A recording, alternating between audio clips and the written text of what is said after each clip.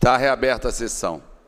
Passa-se a ordem do dia. Boa tarde a todas e todos. Boa tarde, Carlos Mink, subtenente Bernardo, o homem da caneta, deputada enfermeira. Não, Siciliano na caneta e Bernardo na escopeta, não esquece. Eu não entendi, o sub, como é? Siciliano na caneta e Bernardo na escopeta. Você é intelectual. É... Você tirou. Ok.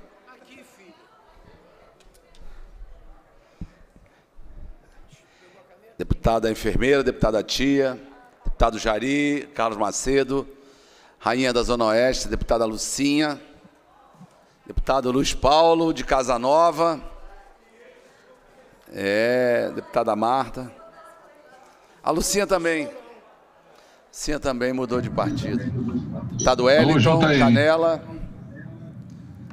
Samuel Malafaia, como vai, meu irmão? Bem, graças a Deus. Você? Marcelo Dino de cabelo novo, que, aquele, que aquela isso, tinta estava saindo.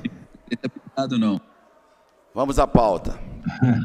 Anuncio em regime de urgência e discussão única projeto de lei 4132 de 21 de autoria do deputado subtenente Bernardo, dos deputados, perdão, subtenente Bernardo, Marta Rocha, Tia Ju, enfermeira Regiane, Franciane Mota, Zeidan e Rosane Félix.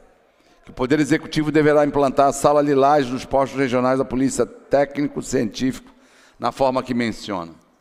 Pendendo de pareceres das comissões de Constituição e Justiça, Defesa do Direito das Mulheres, assunto da criança, do adolescente do idoso, segurança pública, ação de polícia, assuntos municipais e de orçamento. Para emitir parecer pela Comissão de Constituição e Justiça, o nosso líder de governo ad hoc, deputado Luiz Paulo.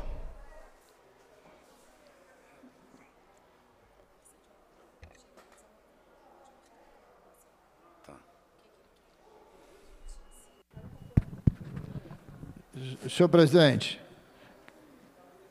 senhor vai falar, deputado? Não. Não. Senhor presidente, projeto de lei 413221, de autoria dos deputados subtenente Bernardo, Marta Rocha, Tia Ju, enfermeira Rejane, Franciane Mota, Zeidan e Rosane Félix, em que define que o Poder Executivo deverá implantar a Sala Lilás nos postos regionais de político técnico-científica. É, o parecer da CCJ, feito pelo nobre deputado Márcio Pacheco, foi de constitucionalidade com quatro emendas que eu espero que os autores as conheçam. Não sei se a deputada Marta Rocha conhece as emendas.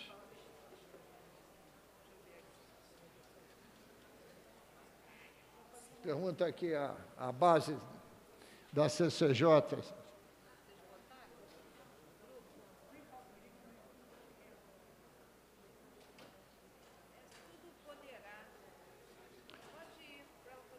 Então, o parecer é pela constitucionalidade com quatro emendas, senhor presidente.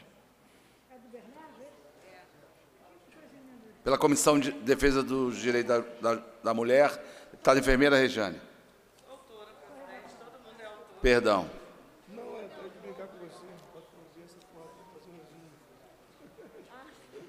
Renata Souza, Zeidan, Alana Passo, Tia Jur, Marta Rocha, Fábio Silva, Marcelo Dino, Dani Monteiro. É. Vou designar, designar relatora deputada Lucinha.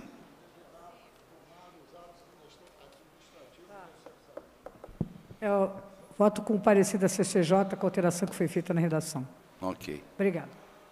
Pela Comissão de Assuntos da Criança, do Adolescente e do Idoso, tá deputado Wellington José.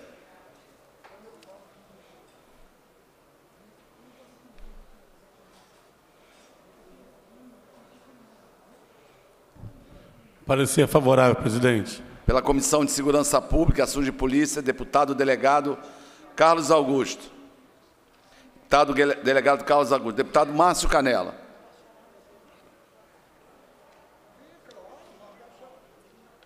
Favorável, senhor presidente. Pela Comissão de Assuntos Municipais, deputado Carlos Augusto. Perdão, Carlos Macedo. Ele estava esperto, estava prestando atenção no trabalho. Boa tarde, presidente. Favorável. Boa tarde. Obrigado. Pela Comissão de Orçamento, deputado Márcio Canela.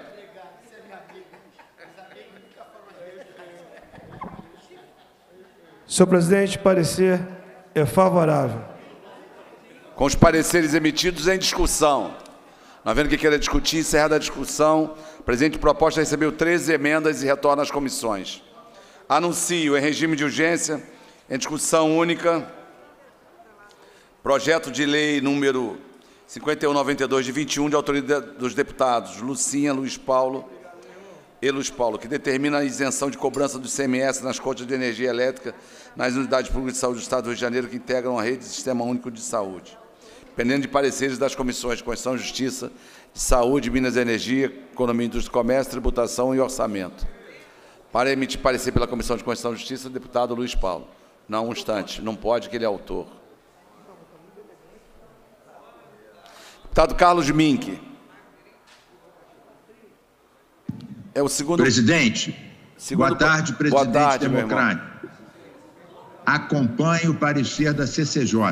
Mas Vossa Excelência estará dando o parecer pela CCJ. Senhor presidente, questão de ordem. Questão de ordem, um instante, Mink. Questão de ordem, deputado eu Luiz. Eu poderia aqui, para o Mink escutar.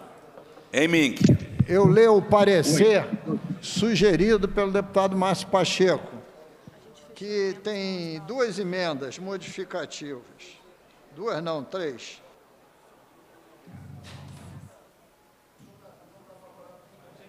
O quê? Beleza. É isso? A casa... Isso. É, o Bink, o encaminhamento do líder do governo, que não está na, no momento, é que, pela constitucionalidade com emendas. Se Vossa Excelência puder. Então, pela constitucionalidade com emendas, acompanhando o parecer do presidente da CCJ. Ok. Pela Comissão de Saúde, deputado Jari. Ah, perdão, a Marta está aqui. É porque já estamos no, no próximo. É só Lucinha. Desculpa, Jari.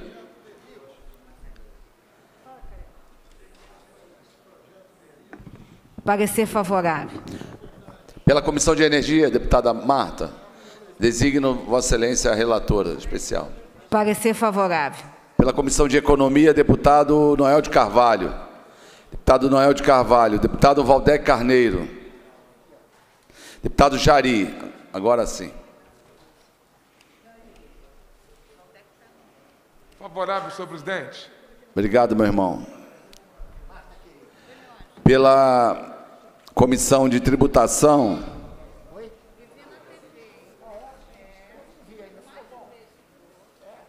Designo relator especial, deputado subtenente Bernardo. Deputado subtenente. Acompanha a CCJ. Pela Comissão de Orçamento, deputado Márcio Canela. Favorável acompanhando a CJ. Os pareceres emitidos em discussão. Não havendo que queira discutir, encerrada a discussão, a presente proposta recebeu três emendas e retorna às comissões. Em tramitação ordinária, segunda discussão, redação do vencido assim emendado. Projeto de lei 1606A de 19, de autoria dos deputados Chico Bulhões, enfermeira Rejane, Marta Rocha, Mônica Francisco, Rosane Félix, Tia Ju, Zeidan, Dani Monteiro e Renata Souza, que dispõe sobre a entrega de kit vestuário para mulheres vítimas de violência na forma que menciona. Em discussão. Não havendo. Tem que emenda essa? Saber tem uma emenda aqui, apesar que não tem mais parecer, não tem como. Não havendo que querer discutir, encerra a discussão, a presente proposta receber uma emenda e retorna às comissões. Presidente, questão de ordem. Questão de ordem, deputada Alana Passos. Boa tarde, presidente. Boa tarde, deputados e deputadas, todos que estão aqui nos assistindo. Eu faço uso da palavra, presidente, que eu gostaria nesse momento de estar saudando aqui a presença do meu então cabo dos Santos, militar paraquedista do Exército, faço uso da palavra dos santos para te honrar e homenagear perante a todos, porque em 2016 eu tive um acidente saltando de paraquedas, eu tive um TCE, hemorragia, e foi através das mãos do Cabo dos Santos, que é de saúde, que ajudou com a benção de Deus a salvar a minha vida. Ou seja, se eu posso aqui hoje estar como parlamentar e fazendo todas as atribuições que Deus assim me permite, foi porque Deus usou as suas mãos para que no dia do meu acidente pudesse ajudar a salvar a minha vida. Muito obrigado obrigado por tudo, meu amigo. Parabéns. Anuncio em segunda discussão a redação do vencido projeto de lei 1068-A de 19, de autoria da deputada Alana Passos, que autoriza o Poder Executivo a incluir o segmento feminino no programa Segurança Presente no âmbito do Estado do Rio de Janeiro. Em discussão, não havendo quem queira discutir, encerrada a discussão, em votação, os senhores que aprovam permaneçam como estão aprovados, vai ao autógrafo. Segunda discussão, projeto de lei 4624 de 21, de autoria do deputado Jair Bittencourt, que declara o município Casimiro de Abreu como a capital estadual do cavalo. Em discussão, não havendo quem queira discutir, encerrada a discussão, em votação, os senhores que aprovam permaneçam como estão. Aprovado. Vai autógrafo. Obrigado, presidente. Está lindo aí com essa gravatinha azul. Você sabe que você vai ser meu senador, né? Vai ser meu senador. Vai estar lá a Zona Oeste toda lá. André Ciliano, senador da Lucinha. Obrigado. Mas ainda estamos um pouquinho fora do tempo, mas já já vamos. Se fosse governador, seria melhor.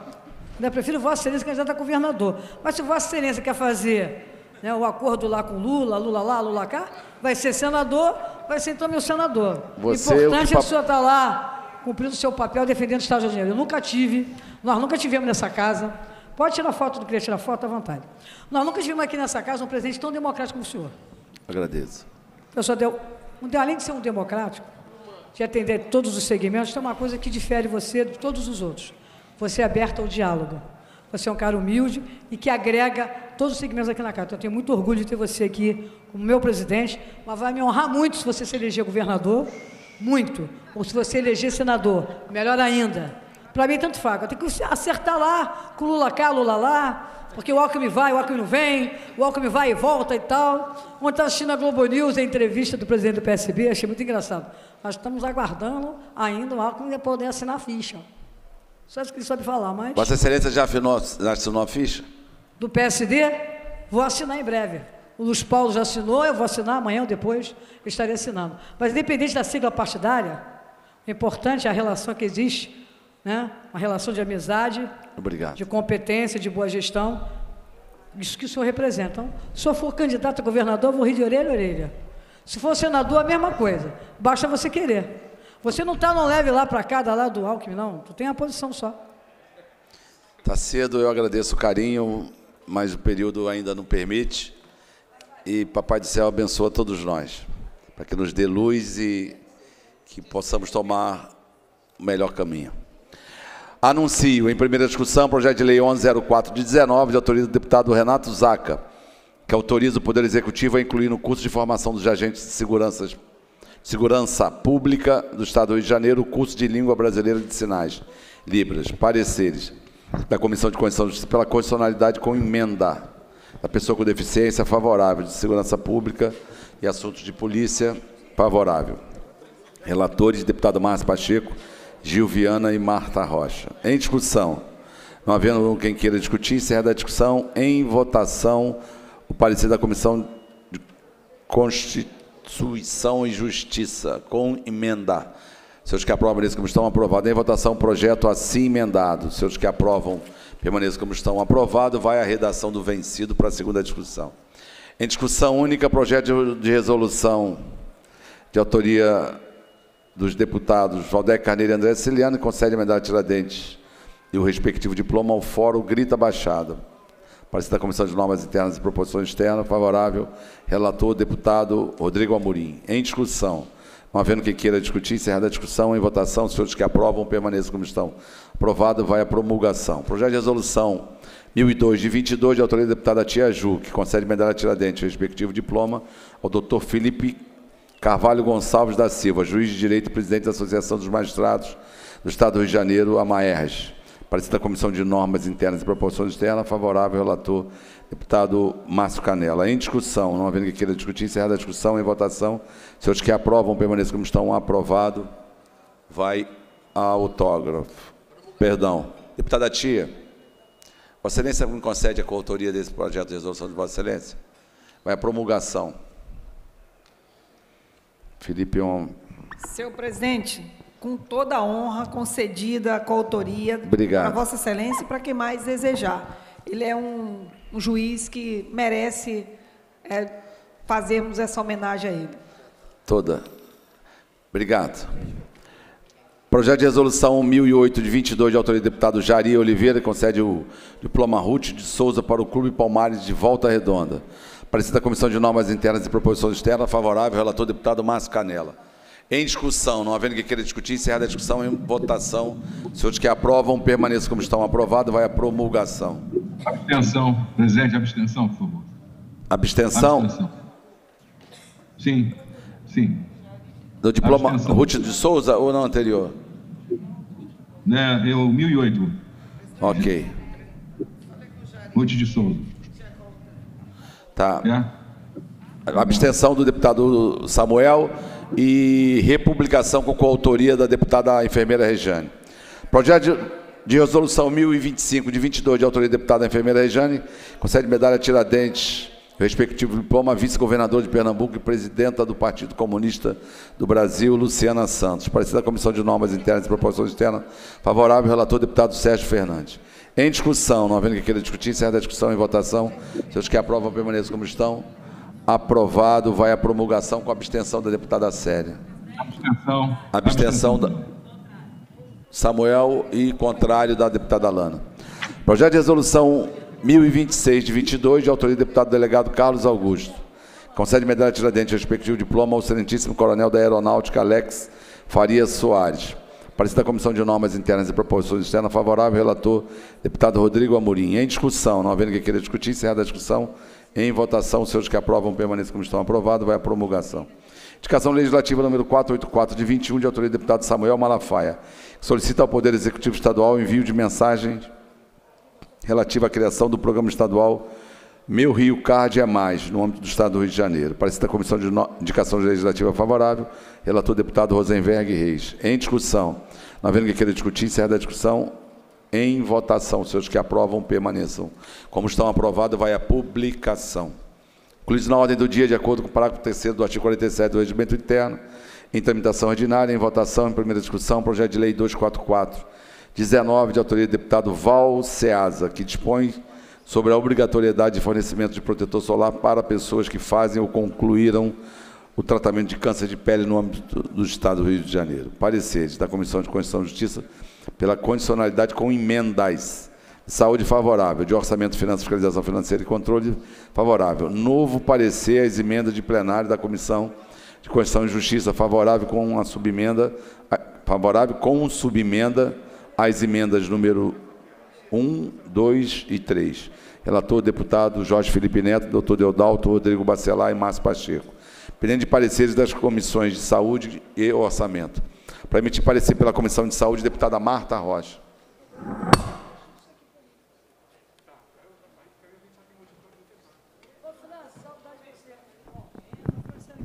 Presidente, parecer favorável acompanhando o substitutivo da CCJ.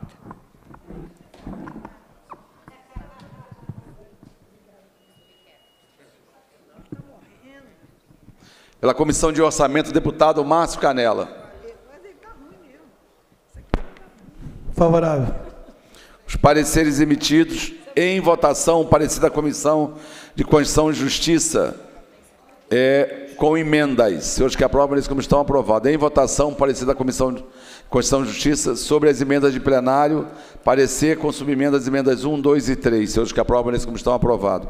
Em votação, projeto assim emendado. Senhores que aprovam, permaneçam como estão aprovados. Vai a redação do vencido para a segunda discussão.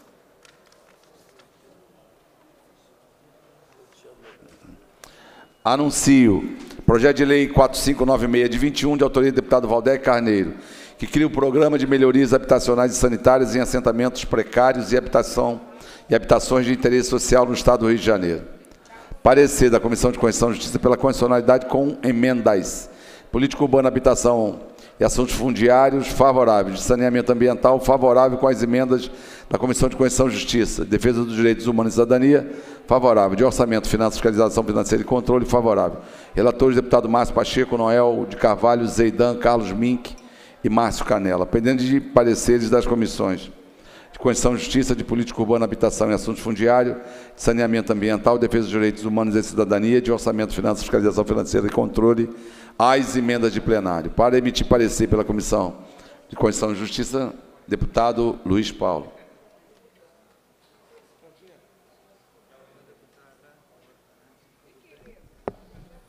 Senhor presidente, PL 4596 de 21, de autoria do deputado Valdec Carneiro, o parecer da CCJ é favorável às emendas 4 e 5, favorável com subemenda à emenda número 7, prejudicadas as emendas 1 e 8 pela emenda número 3 da CCJ, prejudicada a emenda 2 pela emenda 2 da CCJ, prejudicada a emenda 3 pela emenda 1 da CCJ, contrário às demais emendas.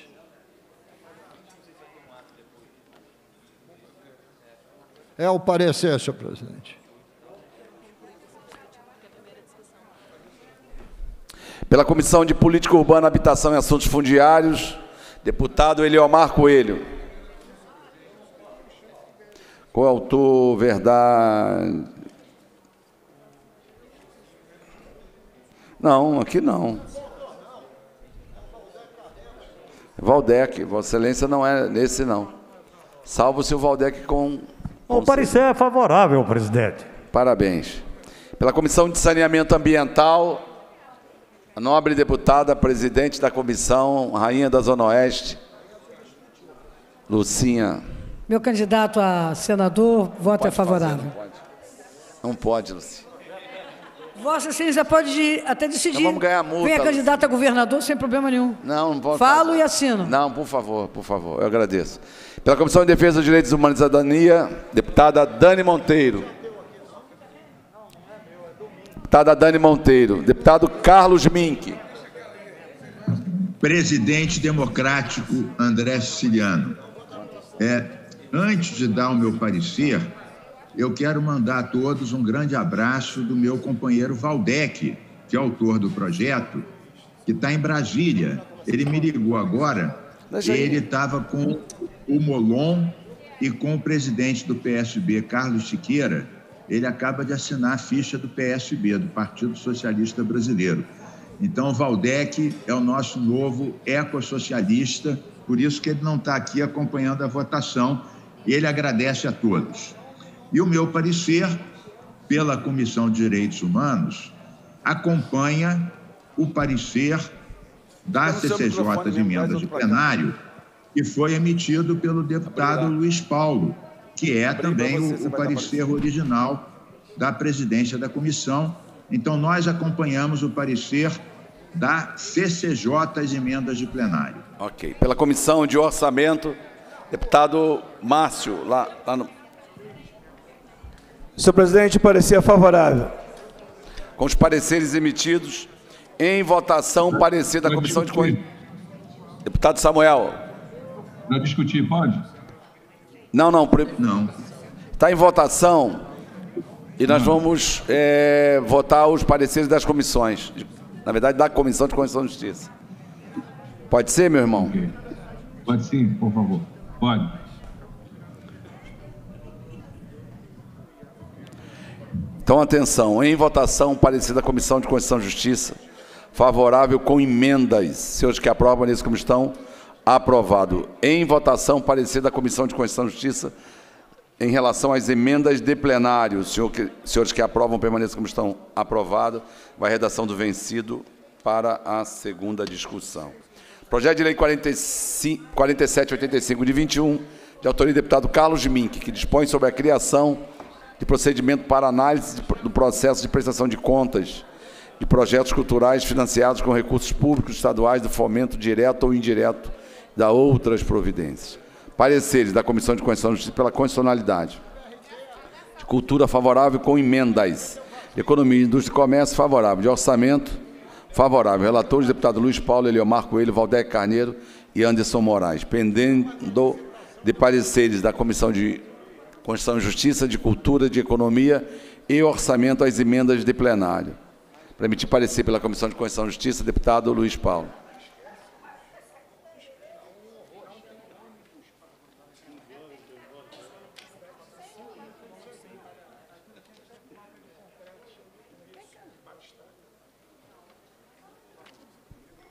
Senhor presidente, projeto de lei 4785 de 21, de autoria do deputado Carlos Mink, que dispõe sobre a criação de procedimento para análise do processo de prestação de contas de projetos culturais financiados com recursos públicos estaduais no fomento direto ou indireto e da outras providências.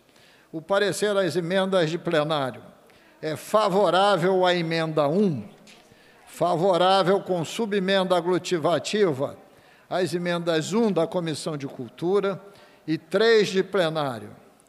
Favorável à emenda 2 da Comissão de Cultura e número 2 de plenário.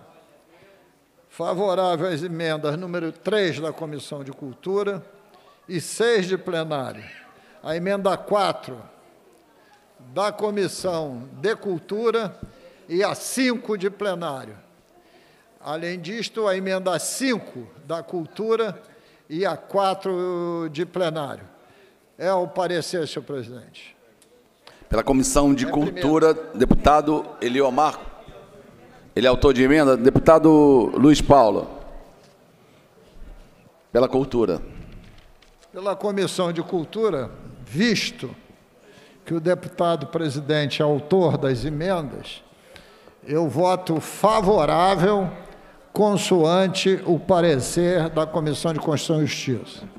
Pela Comissão de Economia, deputada Célia Jordão.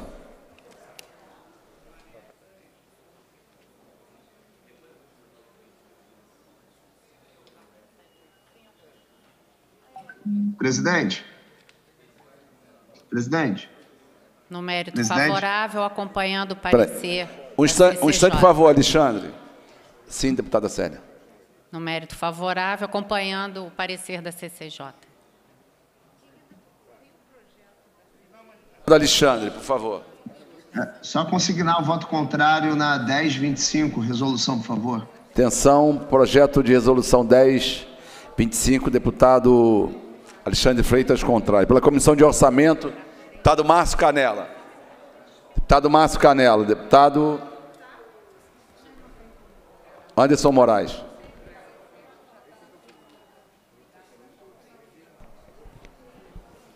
Favorável, presidente.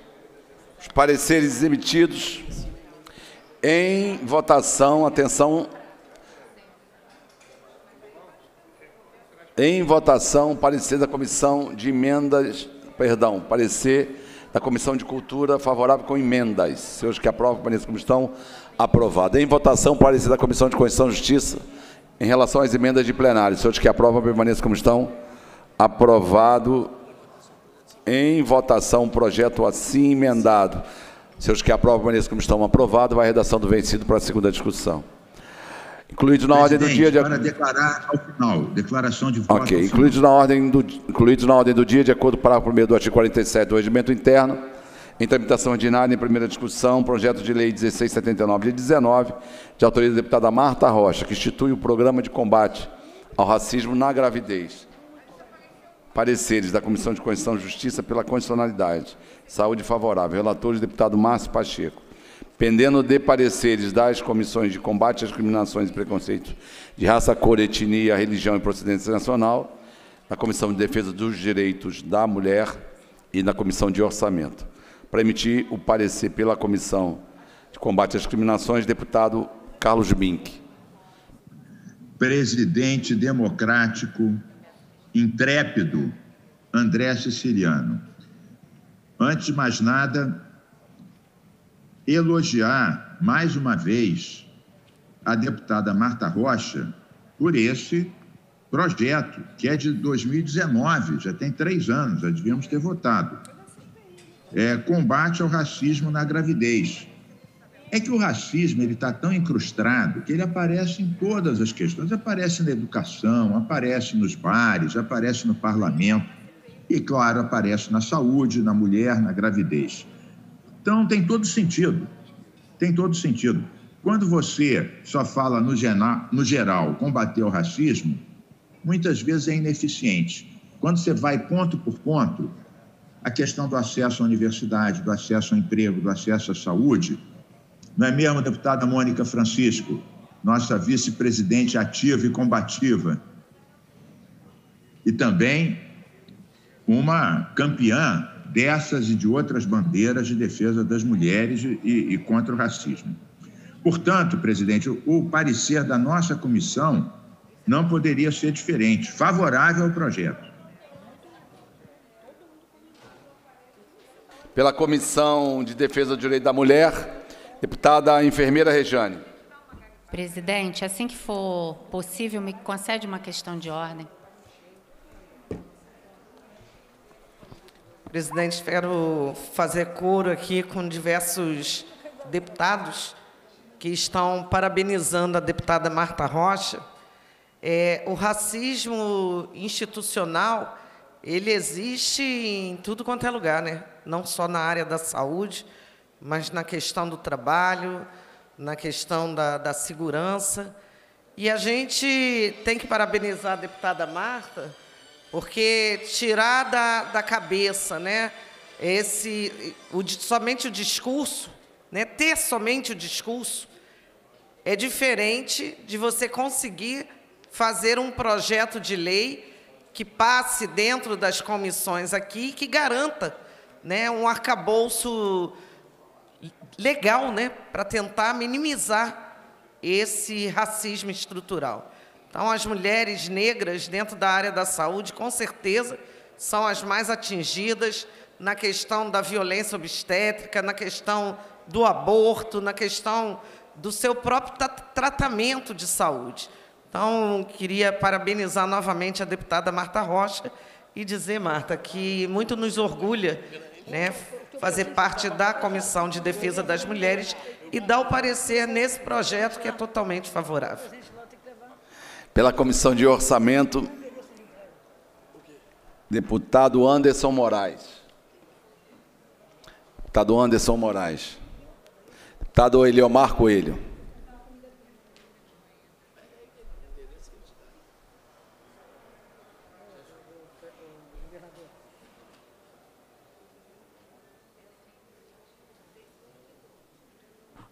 Favorável, presidente. Já imagino com os pareceres emitidos em discussão. Não havendo quem queira discutir, encerrada a discussão, a presente proposta recebeu 11 emendas e retorna às comissões. Projeto de Lei 5333 de 22, da autoria do deputado Jari, que altera a Lei 4.896 de 8 de novembro de 2006, que assegura o direito à privacidade aos usuários do telefone, perdão, aos usuários do serviço de telefonia no âmbito do Estado do Rio de Janeiro, que tange ao recebimento de ofertas de comercialização de produtos ou serviços por via telefônica da outras providências. Para instituir, no âmbito do Estado do Rio de Janeiro, cadastro público para o bloqueio de recebimento de ligações e mensagens telefônicas de telemarketing em telefone, telefones fixos e móveis. Pendente de pareceres das comissões de Constituição e Justiça, de Defesa do Consumidor, de Economia e de Orçamento. Para emitir parecer pela Comissão de Constituição e Justiça, deputado Luiz Paulo. Senhor presidente, existe o projeto de lei 1301 de 2019, de autoria do deputado Daniel Librelon, que tem a mesma emenda. Então, eu queria sugerir a Vossa Excelência, em vez de dar pela anexação, que Vossa Excelência pudesse remeter à CCJ, para ver se na CCJ a Presidência de defere pedido de Vossa Excelência. Eu, antes de encerrar a presente sessão, com a palavra da deputada Célia Jordão, em seguida a deputada Marta. Eu tenho uma declaração de voto. Já, já. presidente. Já, já, amigo. Presidente, a minha questão de ordem é, se refere aqui ao projeto de lei 1606A, aonde consta uma emenda de minha autoria e entendimento com a deputada Marta Rocha, sendo ela a única emenda não é, que visou, né, em última análise, aprimorar, mas também, não, é, não havendo a emenda, não prejudica o projeto. Eu gostaria de retirá-la. Retiro a minha emenda. Quantas emendas são? É uma só, presidente. Aí A minha única que emenda. Vossa Excelência chamar os trabalhos à ordem e fazer e cantar novamente o projeto. Eu canto porque o instante existe e a minha vida está completa. Obrigada, presidente. Vamos aqui, vamos voltar aqui. Segunda-feira é o dia da poesia, não é isso, deputado Eliomar? Vamos declamar então, né, presidente, algumas poesias aqui. Vou-me embora para Passárgada. Lá sou amigo do rei. Lá tem a mulher que quero, na cama que escolherei. Passárgada tem tudo, é outra civilização. Tem um processo seguro de impedir concepção. Lá tem telefone automático, alcaloide à vontade. O resto não dá para cantar aqui. Já, já. Mink, Presidente, essa poesia hoje em dia está meio machista, hein? Eu Você sei, por isso que não dá do falar. Vai escolher a mulher na cama que vai escolher. O que, que é Pois isso? é. mas isso é. é- Deixa para Eu lá. sei que é histórico, é histórico. Deixa para lá. Essas coisas a gente vai ter que rever, rever todos o filmes, poesia, livros, músicas. Deputada Marta, Vossa Excelência tem um é projeto de lei que, que é o último, penúltimo, que teve 11 emendas. Vossa Excelência, salvo Mas não é aqui, esse, presidente. mas estou procurando aqui, não estou achando. É o- Só se é for o- com autoria. Bem, vamos lá. Primeiro é subtenente. É do kit vestuário.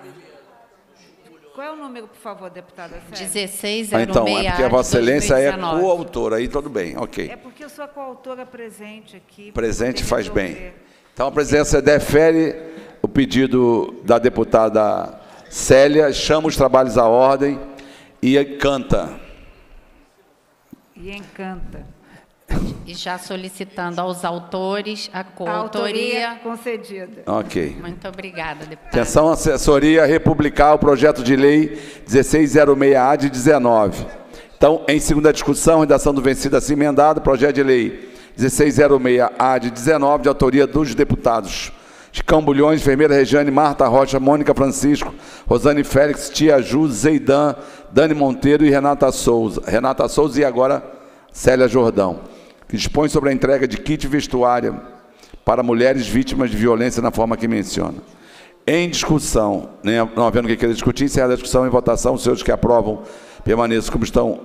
Aprovada a emenda de redação.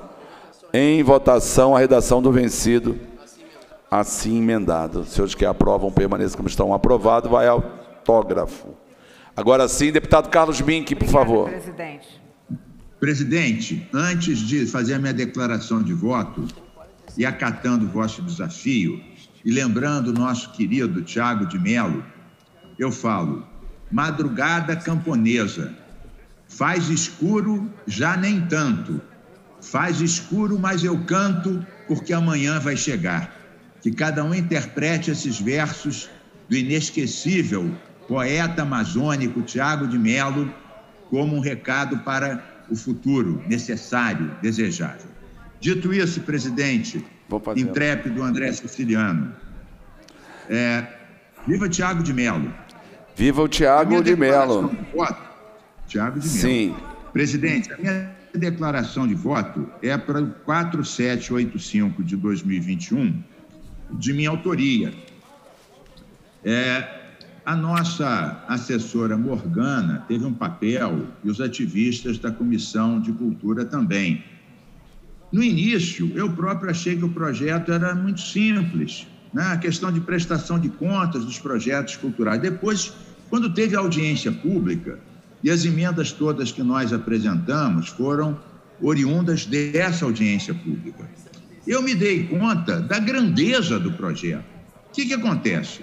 Tem centenas e centenas de projetos parados que não conseguem ser aprovados porque a prestação de contas é medieval. São milhares de páginas, milhares de papeladas na contramão do sistema nacional de cultura, que é muito mais simplificado. É como o sistema de imposto de renda. Pega o essencial, há coisas que são feitas é, é, por sorteio aleatoriamente. Então, esse projeto, é, presidente André Siciliano, deputado Eliomar, presidente da Comissão de Cultura, que tanto ajudou e é, o, o projeto. O que, que acontece? Os próprios técnicos da Secretaria de Cultura ficam assoberbados, não conseguem fazer nada. São centenas de projetos, cada um com milhares de páginas.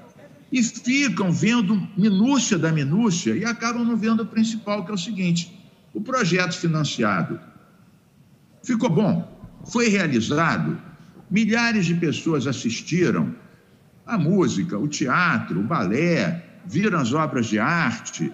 Né? Em suma, qual foi o resultado? Então, é, a secretária de Cultura e sua equipe participaram da audiência e eles estão aliviadíssimos, porque se esse projeto for sancionado, espero que seja, vai simplificar a vida dos produtores culturais e dos técnicos da secretaria sem prejudicar em nada. Não vai haver nenhum prejuízo do combate a uma fraude eventual, a um desvio eventual. Isso tudo vai ser visto com lupa, como é o sistema nacional dos projetos culturais e como é o sistema do imposto de renda, né? que algumas coisas são obrigatórias e outras por amostra. Com isso, centenas e centenas de produtores culturais vão poder voltar a apresentar projetos que hoje, como os anteriores não foram aprovados ainda por causa das pilhas de papelada, eles ficam inviabilizados para terem novos projetos aprovados. Portanto, não é pouca coisa, é viabilizar a cultura se desenvolver e viabilizar a Secretaria de Cultura poder funcionar. Agradeço a todos e também, claro, a CCJ pelas emendas, né? deputado Márcio Pacheco, deputado Luiz Paulo, a nossa trepidante Milena, que sempre salva todos os projetos. Um beijo libertário aqui para a nossa Milena. Valeu, presidente. Viva Tiago de Mello. Viva o Tiago de Mello e já já quero o Elomar, Eliomar aqui para declamar um poema aqui. Deputada Tia.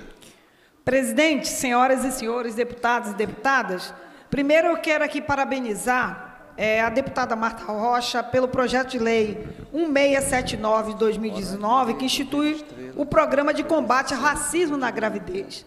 É do conhecimento de todos, nós sabemos do, da existência do racismo, é, apesar de alguns acharem, dizerem que o racismo não existe, mas ele está aí em todos os lugares, com várias vertentes, com várias faces. E o racismo, o combate ao racismo na gravidez é essencial. Por quê? Porque as mulheres e as mulheres negras, elas sofrem muito na questão da violência é, durante o período de gravidez e na hora do parto obstétrica. As mulheres sofrem muito. Então, esse projeto vem de encontro a essa necessidade, vai é, ajudar muito no combate ao racismo na gravidez. Outra coisa, presidente, que eu queria aqui trazer a lembrança é que nós estamos um mês de declararmos nosso imposto de renda. E aí eu queria lembrar a todos que também nos assiste, nos acompanha pela TV Alerj, pelas redes sociais e os deputados e deputadas aqui presentes, que nós podemos designar parte do imposto de renda para o fundo da infância e da adolescência. Só trazendo um lembrete, inclusive eu tenho uma lei que, que, que pede para que seja colocado nos contra-cheques né, do Estado esse lembrete para designação do imposto de renda para o fundo da, da infância. Então, convidar a todos que ainda não fizeram a sua declaração, que irão fazer, os que já fizeram, pode fazer uma correção e fazer a destinação de parte desse imposto de renda para o fundo da infância e da adolescência. Obrigada a todos e todas. Lembrar o Dionísio Lins, que é altíssima renda, quando ele declarar, para declarar para o fundo da criança e adolescente. Deputado Flávio. de voto, Pela ordem, presidente. depois, pode. Presidente, eu até me inscrevi no expediente final para falar sobre esse tema, mas eu gostaria de falar aqui na presença de Vossa Excelência, que foi um, de- um dos deputados também que se engajou nesse assunto, é, que é o tema da reforma do ensino médio. A gente teve esse debate aqui no Estado do Rio de Janeiro, que o calendário da reforma do ensino médio se confundiu, da implementação da reforma do ensino médio se confundiu com a pandemia, o que dificultou o debate envolvendo as escolas. Em conjunto com Vossa Excelência, com o deputado Valdec, com o deputado Mink, a gente apresentou o projeto 4642, prevendo o adiamento dessa decisão. Esse projeto foi aprovado por unanimidade nessa casa. É, o governador vetou.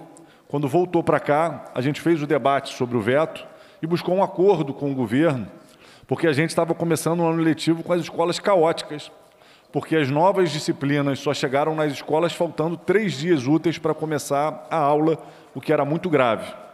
Além disso, você tinha mudanças no primeiro ano do currículo, sem saber sequer como seria o segundo e o terceiro ano. Ou seja, o currículo estava sendo completamente recortado, sem nenhum critério. A gente fez reuniões, presidente, como foi encaminhado aqui em plenário, é, buscando um diálogo com a SEDUC e um entendimento, apresentou algumas propostas, especificamente sobre essa questão do currículo. É, ficamos de ter uma nova reunião para fechar o assunto e a SEDUC agora é, não tem mais nos dado retorno e a gente não está conseguindo confirmar a reunião.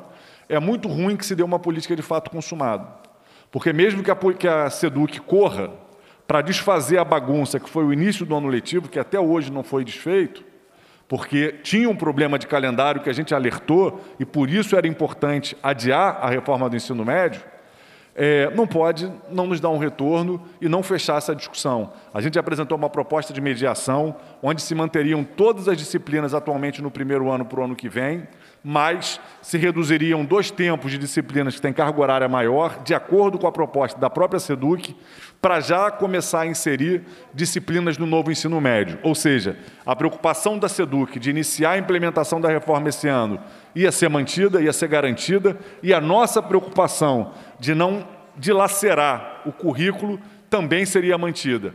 Mas, infelizmente, a gente não está conseguindo fechar esse diálogo. É, a gente tinha combinado com a SEDUC de ter um retorno na quarta-feira, já é quinta-feira à tarde, e a gente até agora não teve esse retorno. Então, eu estou trazendo aqui para o plenário, porque a gente tem tentado o diálogo, o entendimento, porque são questões que não dizem respeito nem só ao parlamento, nem só à secretaria. São questões que dizem respeito à formação da nossa juventude, que merece, tem direito a ter uma educação de qualidade.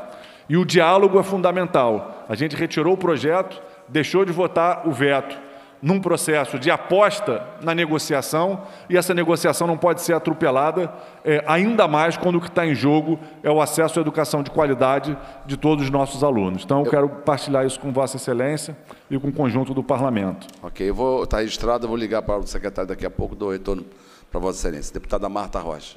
Vai declamar um poema também.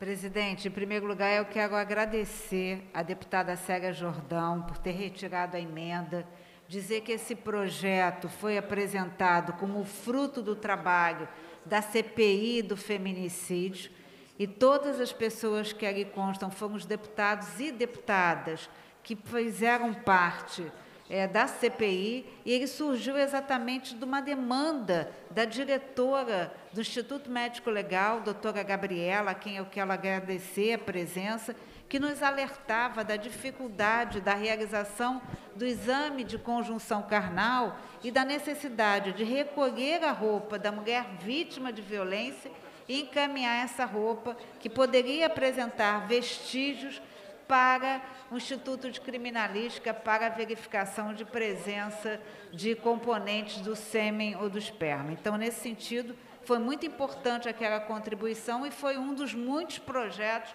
apresentados ao término da CPI. Em segundo lugar, presidente, eu quero dizer que o deputado Bruno Dauari e eu temos um projeto, uma lei, melhor dizendo, que criou a data de hoje, de 17 de março, como Dia da Policial Militar, da mulher em exercício na função de policial militar. E eu quero saudar as minhas companheiras da Polícia Militar, Hoje nós verificamos uma presença expressiva de mulheres no comando na Polícia Militar, em batalhões importantes da Baixada Fluminense e da cidade do Rio de Janeiro. Essas mulheres são, sem dúvida nenhuma, o melhor retrato da Polícia Militar, portanto, não poderemos deixar terminar o dia de hoje sem prestar a elas essa devida e importante homenagem. Muito obrigada. Deputada enfermeira e para encerrar, deputada Eleomar. Então, presidente. Até rimou. Só para lembrar que segunda-feira, dia 21 de março, é o Dia Nacional de Combate à Discriminação Racial. Então, esse PL da deputada Marta tem tudo a ver né, com a questão da, do racismo, do racismo estrutural aqui no, no Rio de Janeiro e no Brasil, e pedir a Vossa Excelência, se possível, para na terça-feira trazer alguns projetos de lei é, que diz respeito a essa questão racial aqui no estado do Rio de Janeiro. Obrigado. Deputado Eliomar Coelho. Senhor presidente, é, já que nós estamos no final... Dê um mote aí para nós. Da sessão. Este ano nós estamos comemorando 100 anos da Semana... Modernismo. Ih, Semana de 22. Está por dentro, hein? Mas eu só queria dizer o seguinte, olha aqui enfunando os papos, saem da penumbra, aos pulos os sapos, a luz o deslumbra. Em ronco que a terra, berra o sapo boi. Meu pai foi à guerra, não foi, foi, não foi. O sapo tanoeiro, panasiano aguado, diz meu cancioneiro, é bem martelado. Vede como primo em comer os hiatos, que arte nunca rimam os termos cognatos. O meu verso é bom, frumento sem sojo. Faço rimas com consoantes de apoio. Vai por 50 anos que lhe dei a norma, reduzi sem dano. As formas, a forma, clame a sapataria. Em críticas céticas não há mais poesia mas há artes poéticas, brada de um somo. O sapo tanoeiro, a grande arte é como lavor do joalheiro, urra o sapo boi. Meu pai foi rei, foi, não foi, foi, não foi. Este poema foi dito na segunda noite que celebrou o encontro exatamente da Semana de Arte Moderna do Teatro Municipal de São Paulo. De Manuel Bandeira esse. E foi vaiado. Foi vaiado. Veja bem, não é?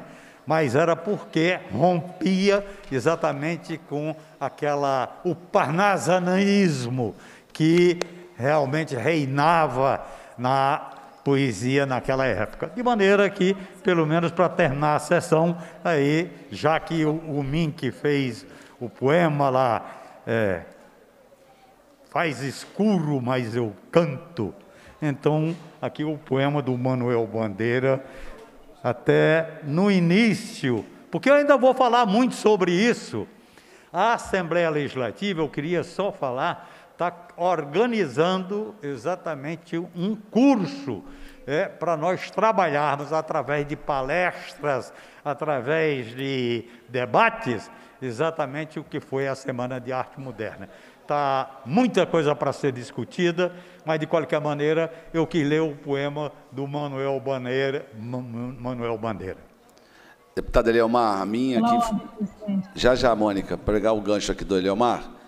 A mim foi pedido para que eu pudesse declamar outro, porque aquele não pega bem. O, o... Vamos embora para Passárgada, não, não está bem no momento. Então, não posso declamar o Manuel, mas vou declamar um Carlos Dumont, que dizia agora José, a festa acabou, a luz apagou, o povo sumiu. A noite esfriou, e agora José?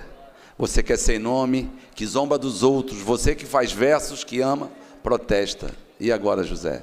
Esse é é do Carlos Drummond, mas tem também do Olavo Bilac, que diz: Orais direis, ouvir estrelas, certo perdeste o senso, eu vos direi, no entanto, que para ouvi-las muitas vezes, muita vez desperto e abra a janela pálido do espanto. Fala muita vez mesmo, da forma que está escrito no poema. Mas, Olavo- Esse é o Olavo Bilac. Mas eu parabenizo Vossa Excelência, porque uma vez eu li um autor dito de esquerda que afirmava que Olavo Bilac era um diretrista convicto. E se Vossa Excelência está declamando Olavo Bilac, eu já fico aqui mais liberto desses preconceitos. O que vale é a arte, né? Eu gosto tanta música e tanto poema de tantos autores que são das posições mais diversas, de esquerda, direita, de centro, mas o que vale, na minha opinião, é a arte. Deputada Marta Rocha, por favor. O senhor me permitiria falar Drummond?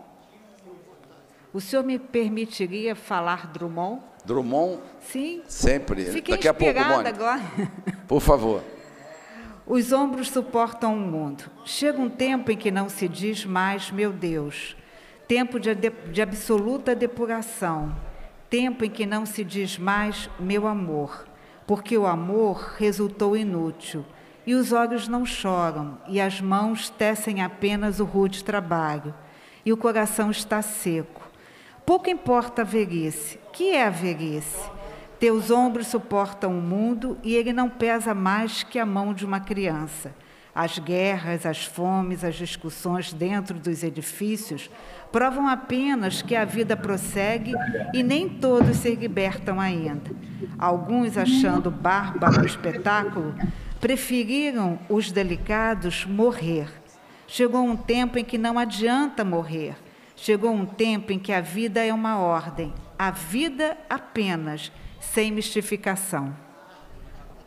Parabéns. Deputada Mônica, em seguida me fez lembrar o deputado Eliomar do Jacques do Pandeiro, que é o canto do sapo. Foi? Foste. Pagaste? Paguei. Não é mais ou menos assim? Foi? Tião, foi? Foste. Fui. Compraste? Paguei? Paguei. Deputada Mônica.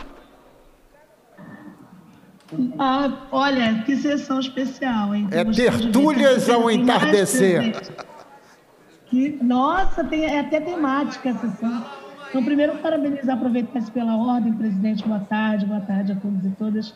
Para parabenizar mais uma vez a nossa querida deputada Marta Rocha, que nos capitaneou tão bem presidindo a CPI do feminicídio. Foi uma referência para nós e produzimos tantas respostas né, a partir do legislativo nesse tema que é tão duro. E fica até mais tranquilo para a gente falar sobre isso numa tarde é, temática da nossa sessão. Presidente, muito obrigada por esse é, espaço, é muito bonito. Nosso povo precisa disso também, né? Ver que em nós há também arte, cultura, sensibilidade, humanidade, a partir da Assembleia Legislativa. Mas eu eu não, eu vou ler de uma poeta manauara, prima de Tiago de Mello, minha amiga Marisa de Mello Fouché, amiga de Carlos Min, que conhece muito bem, muitos aqui também devem conhecer, hoje mora em Paris, e ela mandou assim que ocorreu a passagem do Tiago, grande poeta Tiago de Mello.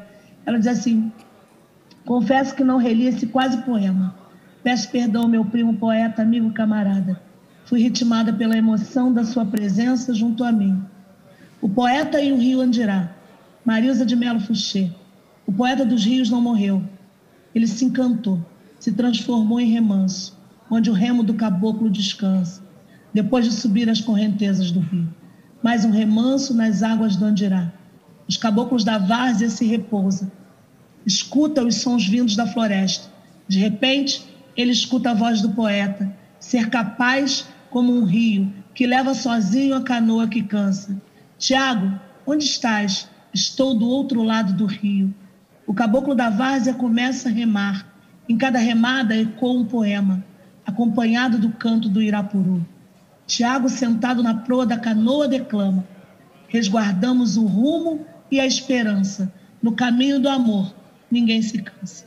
Marisa de Melo Fuxê. Presidente. Parabéns. O Lu- Luiz. Para fechar, senhor presidente. Por favor. Já que Vossa Excelência, nos últimos tempos, tem dúvidas muito grandes sobre o seu futuro, eu vou lhe lembrar Cecília Meirelles. É isso ou aquilo? A vida é escolha o tempo todo. Só isso, presidente. Obrigado. Antes de passarmos para a sessão extraordinária, encerrarmos a ordem do dia, há sobre a mesa requerimentos de inclusão. Requer inclusão na ordem do dia do projeto de lei 47, 48 e 21. Deputado André Siciliano. Seus que aprovam, como estão aprovados. Requer inclusão na ordem do dia projeto de lei 55 28 5528 de 22. Deputada Lucinha. Senhores que aprovam, permaneçam como estão aprovados. Requer inclusão na ordem do dia projeto de lei 4198 de 21, deputada Lucinha. Senhores que aprovam, isso como estão aprovados. Requer inclusão na ordem do dia do projeto de lei 5066 de 21, deputada enfermeira Rejane. Senhores que aprovam, permaneçam como estão aprovados. Requer inclusão na ordem do dia dois projetos de leis, número 5241 21, 904 de 21, deputado Eliomar. Senhores que aprovam, permaneçam como estão aprovados. Requer inclusão na ordem do dia os projetos, dois projetos de lei, número 488021, 445218, 4567 de 21. Deputada Bruno Dauari. Senhores que aprovam, permaneçam como estão aprovados.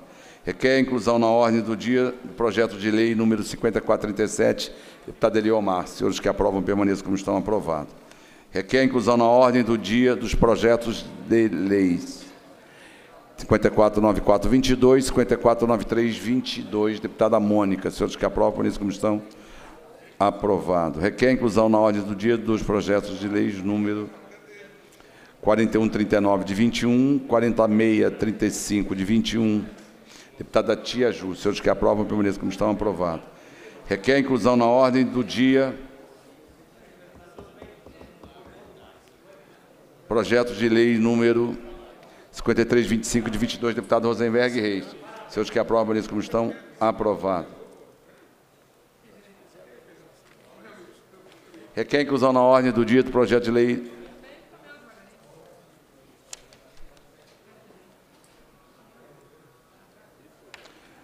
número 999 de 19.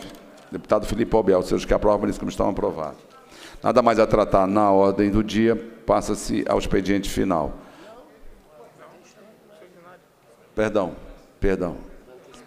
Como eu disse no início, eu vou encerrar a ordem do dia e vou passar para, para a extraordinária, que é uma única e a gente vai votar em bloco. Ah, exatamente isso. Eu vou caminhar em bloco. São 47.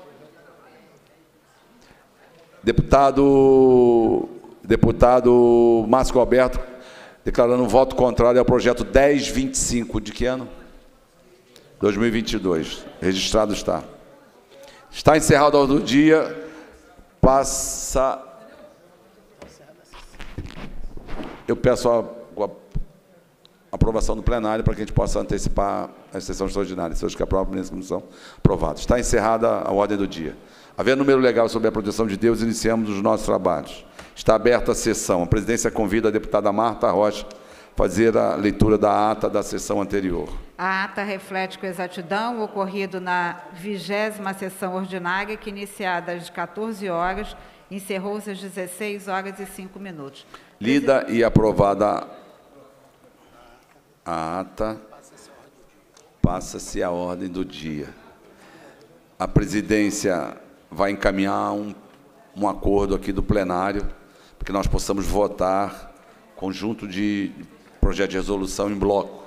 Senhores que aprovam permaneçam como estão aprovados. Então vamos agora aos PRs. Presidente, afinal, o senhor poderia me permitir uma questão de ordem, por favor? É a sessão anterior. Então, com a anuência do plenário, eu vou ler todos os projetos da pauta extra, depois vou encaminhar é, para que possa, possamos votar é, em bloco, respeitando quem for votar contra. Pode ser dessa forma, Márcio? Pode ser, Alana? Ok. Depois eu passo a palavra para Vossa Excelência. Sessão extraordinária do dia 17 de março de 22. Em tramitação ordinária, em discussão única, projeto de resolução 888 de 21, de autoria da deputada Renata Souza, concede prêmio Marielle Franco ao Instituto AS Minas, parecido da Comissão de Normas Internas e Proposição Externa, favorável deputado Sérgio Fernandes. Primeiro da pauta. Segundo da pauta, projeto de resolução 889 do 21, de autoria da deputada Renata Souza, concede prêmio Marielle Franco ao Mapa das Minas, parecido da Comissão de Normas Internas e Proposição Externa, favorável deputado Sérgio Fernandes. Projeto de resolução número 89021, de autoria da deputada Renata Souza, concede o prêmio Marielle Franco ao Movimento Negro Unificado. Parecer da Comissão de Normas Internas e Proposições Externas, favorável Sérgio Fernandes, relator. Projeto de resolução 89121, de autoria da deputada Renata Souza, concede o prêmio Marielle Franco a Flávia Oliveira.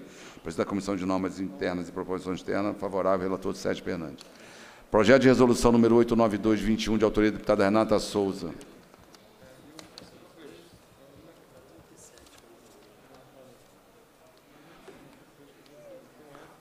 a Coalizão Negra por Direitos, parecer da Comissão de Normas Internas, proposição externa favorável, deputado Sérgio Fernandes. Projeto de resolução 893-21, de autoria do deputado Renato Souza, concede o prêmio Marielle Franco, a ONG Crioula, parecer da Comissão de Normas Internas e proposição externa favorável, relator deputado Sérgio Fernandes.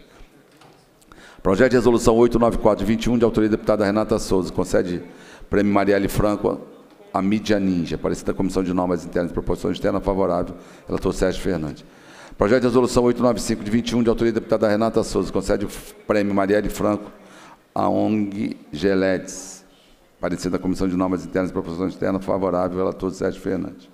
Projeto de resolução 896-21, de autoria da deputada Renata Souza, concede o prêmio Marielle Franco à Fundação Henrique Bol. Parecer da Comissão de Normas Internas e Proposições Externas, favorável, deputado Sérgio Fernandes. Projeto de resolução 897-21, autoria da deputada Renata, concede o prêmio Marielle Franco à Fundação Rosa Luxemburgo. Parecido da Comissão de Normas Internas e Proposições Externas, favorável Sérgio Fernandes.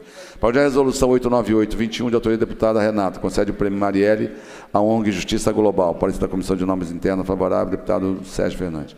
Projeto de resolução 899-21, de autoria do deputado Renato, concede o prêmio Marielle à Casa Preta da Maré, parecida da Comissão de Normas, favorável Sérgio, deputado. Projeto de resolução 921, de autoria do deputado Renato, concede o Marielle a Marinete da Silva, parecida da Comissão de Normas, favorável deputado Sérgio. Projeto de resolução 890, no, perdão, 901 de 21, de autoria da deputada Renata, concede o prêmio Marielle a Mônica Benício. Presidente da Comissão de Normas Internas e Proposições Externas, favorável, deputado Márcio Canela.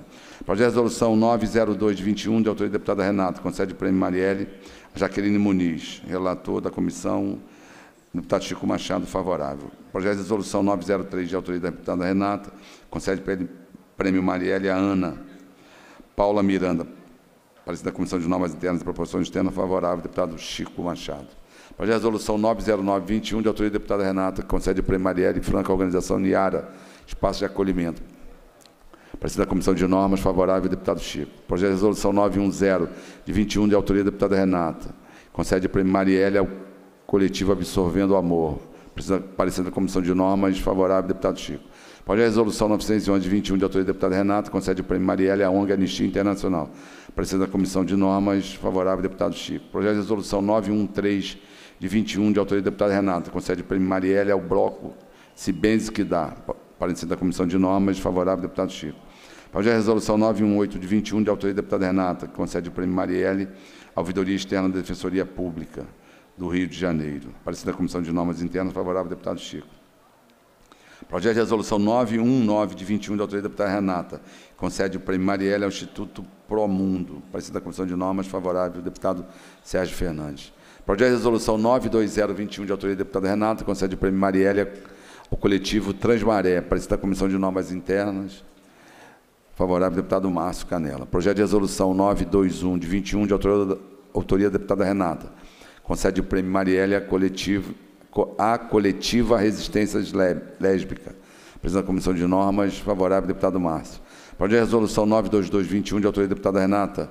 Concede o prêmio Marielle às, à herdeira de Candaces.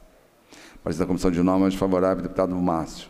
Projeto de resolução 92321, de autoria da deputada Renata, concede o prêmio Marielle ao Núcleo Piratininga de Comunicação. Parecer da Comissão de Normas, favorável, deputado Márcio. Projeto de resolução 92421, de autoria da deputada Renata, concede o prêmio Marielle ao professor Augusto Sampaio. Parecer da Comissão de Normas, favorável, deputado Márcio Canela. Projeto de resolução 92521, de autoria, da deputada Renata, concede o prêmio Marielle ao Instituto Fogo Cruzado. Parecer da Comissão de Normas, favorável, deputado Canela. Projeto de resolução 2, perdão, projeto de resolução 926 de 21, de autoria da deputada Renata, concede prêmio Marielle ao projeto Carolinas. Parecer da Comissão de Normas, favorável, deputado Márcio. Projeto de resolução 92721, de autoria da deputada Renata, concede prêmio Marielle ao coletivo Papo Reto. Parecer da Comissão de Normas, favorável, deputado Márcio. Projeto de resolução 95122, de autoria da deputada Renata, concede prêmio Marielle Sueli Carneiro. Parecer da Comissão de Normas, favorável, deputado Rosenberg.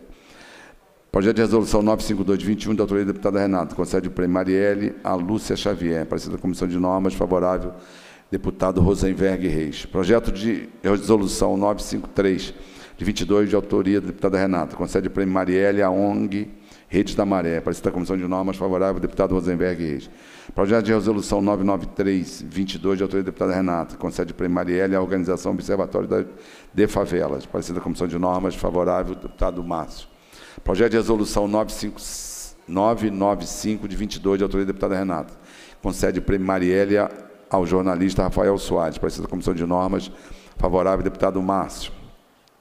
Projeto de resolução 996, de 22, de autoria da deputada Renata, concede o prêmio Marielle à ONG Rediname.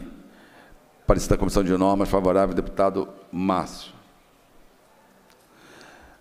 Projeto de resolução 99922, de autoria da deputada enfermeira Rejane, concede o prêmio Marielle Franco a Luciene da Silva Mourão, parecer da Comissão de Normas Internas e Proposições Externas favorável, deputado Márcio Canela, relator. Projeto de resolução 1039, de 22, de autoria da deputada Mônica Francisco, concede o prêmio Marielle a Giovana Cardoso da Silva, parecer da Comissão de Normas favorável, para relator Márcio. Projeto de resolução 1040, de 22, de autoria da deputada Mônica, concede o prêmio Marielle a Jurema Pinto Werneck, parecer da Comissão de Normas favorável, deputado Rosenberg. Projeto de resolução 1041, de 22, de autoria da deputada Mônica, que concede o prêmio Marielle a Francidélia Lima Gomes, parecer da Comissão de Normas favorável, deputado Rosenberg. Projeto de resolução 1042 de 22, de autoria da deputada Mônica, que concede o prêmio Marielle Luciana Buiu. Presidente da Comissão de Normas, de Normas favorável, deputado Sérgio Fernandes. Projeto de resolução 1043 de 22, de autoria da deputada Mônica, concede prêmio Marielle Adriana Facina Gugel do Amaral. Presidente da Comissão de Normas, favorável, deputado Márcio. Projeto de resolução 1044 de 22, de autoria da deputada Mônica, concede Prêmio Marielle e a Darcília Alves, parecer da Comissão de Normas, favorável, deputado Márcio Canela. Projeto de resolução 1045 de 22, de autoria da deputada Mônica, concede prêmio Marielle a Áurea Carolina de Freitas e Silva, parecer da Comissão de Normas, favorável, deputado Márcio.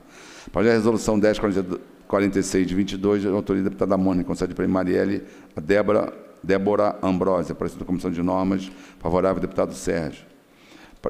Projeto de resolução 104722, de autoria da deputada Mônica, que concede prêmio Marielle a Ana Beatriz Bernardes Nunes, parecida da Comissão de Normas, favorável, deputado Sérgio. Por último, projeto de resolução 1048 de 22, de autoria da deputada Mônica, que concede o prêmio Marielle Franco a Renata Martins de Freitas, parecida da Comissão de Normas Internas e Proporções Externas, favorável, deputado Sérgio Fernandes. Pela ordem, presidente. Deputado Márcio, por favor. Eu gostaria de consignar voto contrário a todos os projetos de resolução que foram cantados por Vossa Excelência. Muito obrigado. Tá, então vamos ao bloco. Em discussão, os projetos de resolução agora cantado, anunciado. Em discussão, não havendo que queira discutir, encerra a discussão, em votação. Os senhores que aprovam permaneçam como estão. Aprovado com voto contrário do deputado Márcio Gualberto, com voto pela abstenção da deputada Lana e pelo. Abstenção. Bem, presidente, Célio Jordão. Abstenção, Samuel e Célia, é isso que eu entendi? É, Samuel Malafaia, abstenção. Ok. Abstenção, deputado Chico Machado. E deputado Rosenberg Reis. pedindo abstenção ao primeiro da pauta, ao sexto, ao décimo quarto, ao vigésimo da pauta, ao vigésimo terceiro, ao vigésimo quarto, ao trigésimo oitavo e quadragésimo primeiro. Abstenção. Abstenção em todas. Deputado, ok. Deputado Rosenberg. Samuel, abstenção em todas. Eu vou convidar a deputada Marta e os projetos de resolução todos vão à promulgação, com votos também pela abstenção do novo, como fazemos sempre. Deputada Marta quer declarar antes de vir? Ah, Não, quer, é uma questão quer, de ordem. Questão de ordem, deputada Marta. Presidente, na, no dia de ontem, nós realizamos aqui uma belíssima audiência pública que foi conduzida pela Comissão de Segurança Pública, presidida pelo deputado Carlos Augusto, e pela Comissão de Servidores Públicos, presidido pelo, delega, perdão, pelo deputado Rodrigo Amorim. Naquele momento, Vossa Excelência esteve conosco e já deve ter acompanhado nas redes sociais o quanto foi ovacionado, e ficou acordado que nós colocaríamos em pauta, na quarta-feira, o projeto 5337 de 2022, que trata da cláusula de barreira dos concursos públicos. Então, apenas para lembrar Vossa Excelência da necessidade de colocar esse projeto em pauta, que foi um acordo firmado por Vossa Excelência. E eu queria também uma orientação, porque eu tenho feito requerimentos de urgência, mas as pessoas, algum, às vezes, me dizem da necessidade de passar pelo crivo de Vossa Excelência. Então, eu entreguei aí três, três requerimentos de urgência que não foram cantados. Por isso que eu queria pedir não, apenas. Vossa Excelência pediu, é porque são. São requerimentos. Fui informado que foi urgência, não inclusão em pauta, porque inclusão, é, urgência não se canta. Tá. Mas se a então, quiser, eu canto, não tem problema. Não, não há necessidade, eu só quero saber como proceder. Eu já, se eu já, tenho que já, passar para Vossa Excelência. Já passei todos. Então está ótimo. Minhas, em minha mão, em minhas Perfeito. mãos agora. Muitíssimo obrigado, viu? E se Vossa. Excelência desejar, posso conduzir o expediente por final. Por favor, por favor. É, 53, qual foi o número novo que, que ganhou o projeto? O que nós combinamos é que não, não haverá um número novo e o ah, deputado não? Rodrigo Amorim vai ser o coautor. 53. Só um minutinho, por favor. 5337 de 2022.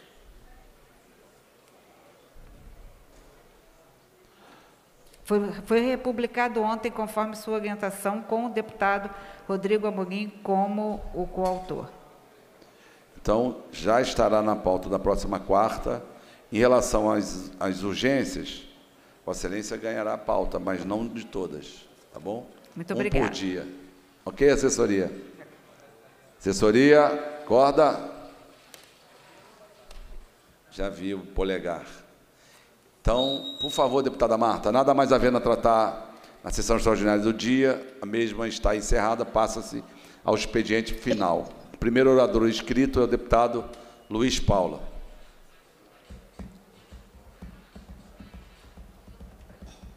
Vamos falar? Cadê eles?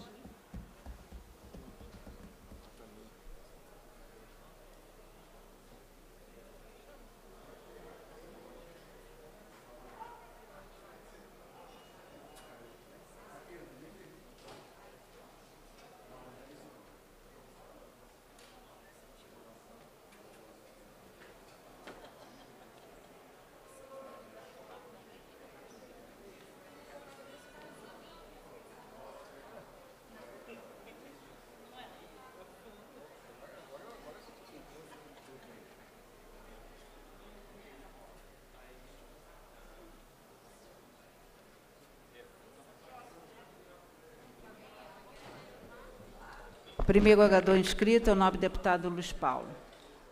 Senhora presidente, dos trabalhos do expediente final, deputada Marta Rocha, senhoras e senhores parlamentares que nos assistem de forma presencial e de forma remota.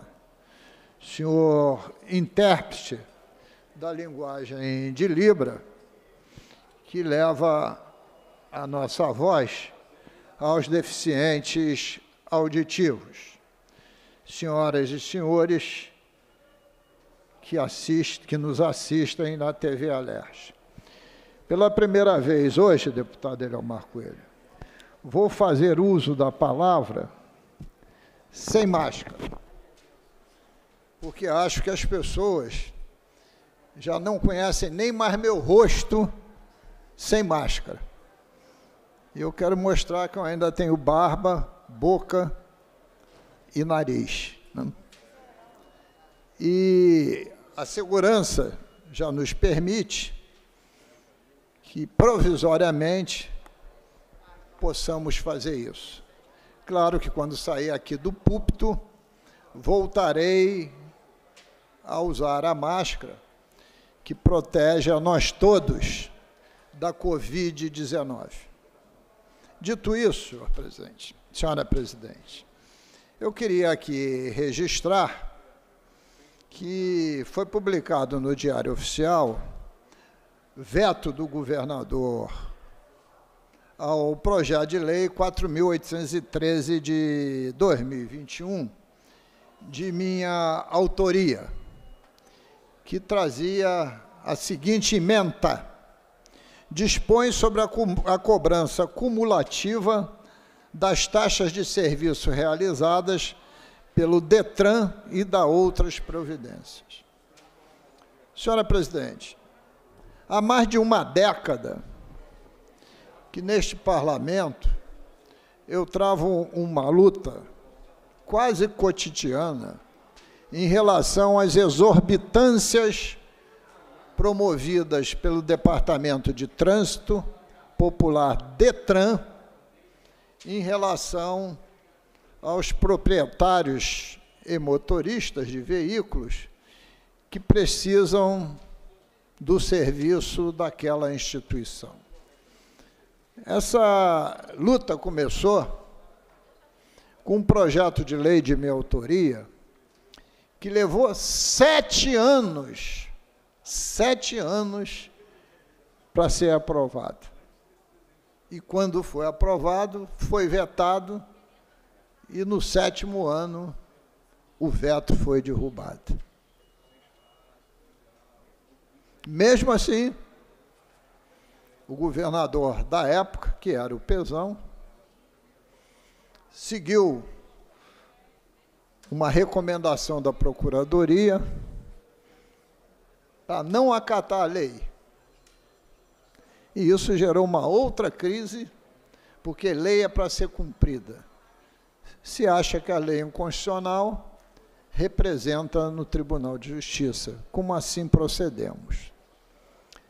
E esta primeira lei, nós acabamos com uma farra do boi que tinha no Detran e também com um grande processo de corrupção que exigia que a vistoria veicular só fosse realizada se o cidadão tivesse com IPVA em dia. Vistoria, deputado Eliomar, sabe bem Vossa Excelência, é item, vistoria veicular, é item de segurança do veículo e também item que visa preservar o meio ambiente, porque a vistoria verificava o estado geral de conservação do veículo e a emissão de monóxido de carbono. E a alegação básica, Fica. que é impossível você vincular pagamento de imposto à vistoria. E eu dava exemplo. Uma tragédia. Uma encosta nos fundos da sua casa que ameaça desabar. Você chama a defesa civil né, para fazer uma vistoria. Aí a defesa civil vai perguntar ao senhor, seu IPTU está pago? Aí o senhor diz assim, não, então não posso fazer a vistoria. Duas coisas que não têm nada a ver uma com a outra. Né? Mas era a forma de extorquir o cidadão. Principalmente na grande crise que viveu o Estado, 16, 17 de hoje, 18, que continua até existir, que o cidadão usava seu carro como fonte de renda do seu trabalho, principalmente os profissionais autônomos. Essa foi a primeira grande luta de sucesso. Na, há 15 dias atrás, nós conseguimos, e essa casa foi decisiva, derrubar o veto do governador em relação à cobrança indevida da taxa de emissão do CRLV, do popular verdinho, que era na ordem de 70 reais. Tivemos essa vitória. Agora, nas últimas 48 horas, o TRF2, Tribunal de Recursos Federais, deu uma liminar, que não é por causa do Rio de Janeiro, para o Brasil inteiro, para que se exija, na interpretação do texto do Código e da resolução do CONTRAN, que volte a ser emitido o verdinho, não seja mais pela internet. Olha que, que barafunda. Né? Porque a ótica é sempre meter a, a mão no bolso do cidadão. Meter a mão no bolso do cidadão. E esse projeto que o governo vetou era um projeto que, com algumas coisas muito claras e, e importantes, que são a famosa cobrança dos dudas. Às vezes você faz. Você tem que pagar dois, três dudas por serviços que são continuados. Deveria ser, ser somente uma cobrança, você paga duas, três vezes. Mas o governo quer meter a mão no bolso do cidadão acha que para cada um, mesmo que seja feito junto, é um Duda distinto. A outra questão que abordamos é que se você vai fazer exame de vista, exame físico, você paga. Né? E se você paga, por que não pode usar o plano de saúde? Não, para isso o plano de saúde não vale. A terceira questão é que se você for fazer seu exame para renovar a carteira, eles exigem que você pague em dinheiro vivo. E, evidentemente, você pode pagar qualquer serviço médico com cheque, com cartão de débito, com cartão de crédito, ou até com Pix. A Liveta, e diz que tem, agora saiu, uma resolução do Detran de 26 de janeiro de 22, permitindo. Só que tem um projeto de lei que nós apresentamos, era de 2 de setembro de 21, muito antes desta resolução do Detran. Tomaram vergonha na cara, né? viram o projeto, foi lá e fizeram uma resolução. Então, quero mostrar com isso é que continua a mentalidade que tudo no Detran é para ser pago, mas a qualidade de serviço sempre deixa a desejar. E até parece que o automóvel é somente é somente um objeto de luxo, quando não é verdade. Para uma parcela da população, pode até sê-lo. Na, na, no ramo que Vossa Excelência se formou, em engenharia, eu mostro que a maioria dos carpinteiros, pedreiros, marceneiros, eletricistas e outros prestadores de serviço usam seus carrinhos velhos, trazendo seus equipamentos e às vezes um, dois peões para prestar o serviço nos mais diversos pontos da cidade. O carro é instrumento de trabalho, é um escritório ambulante. Porque um eletricista não vem só com o corpo dele, não. Ele vem com a malinha, né? muitas vezes trazendo fios enrolados, é, alicates, é, enfim, chaves das mais diversas possíveis, fita todo o instrumental que vai usar para fazer a sua intervenção. Então, o veículo hoje é também instrumento de trabalho. Fora, fora os veículos de entrega, inclusive as motos. Os motoboys o que, que são? Trabalham com seu veículo.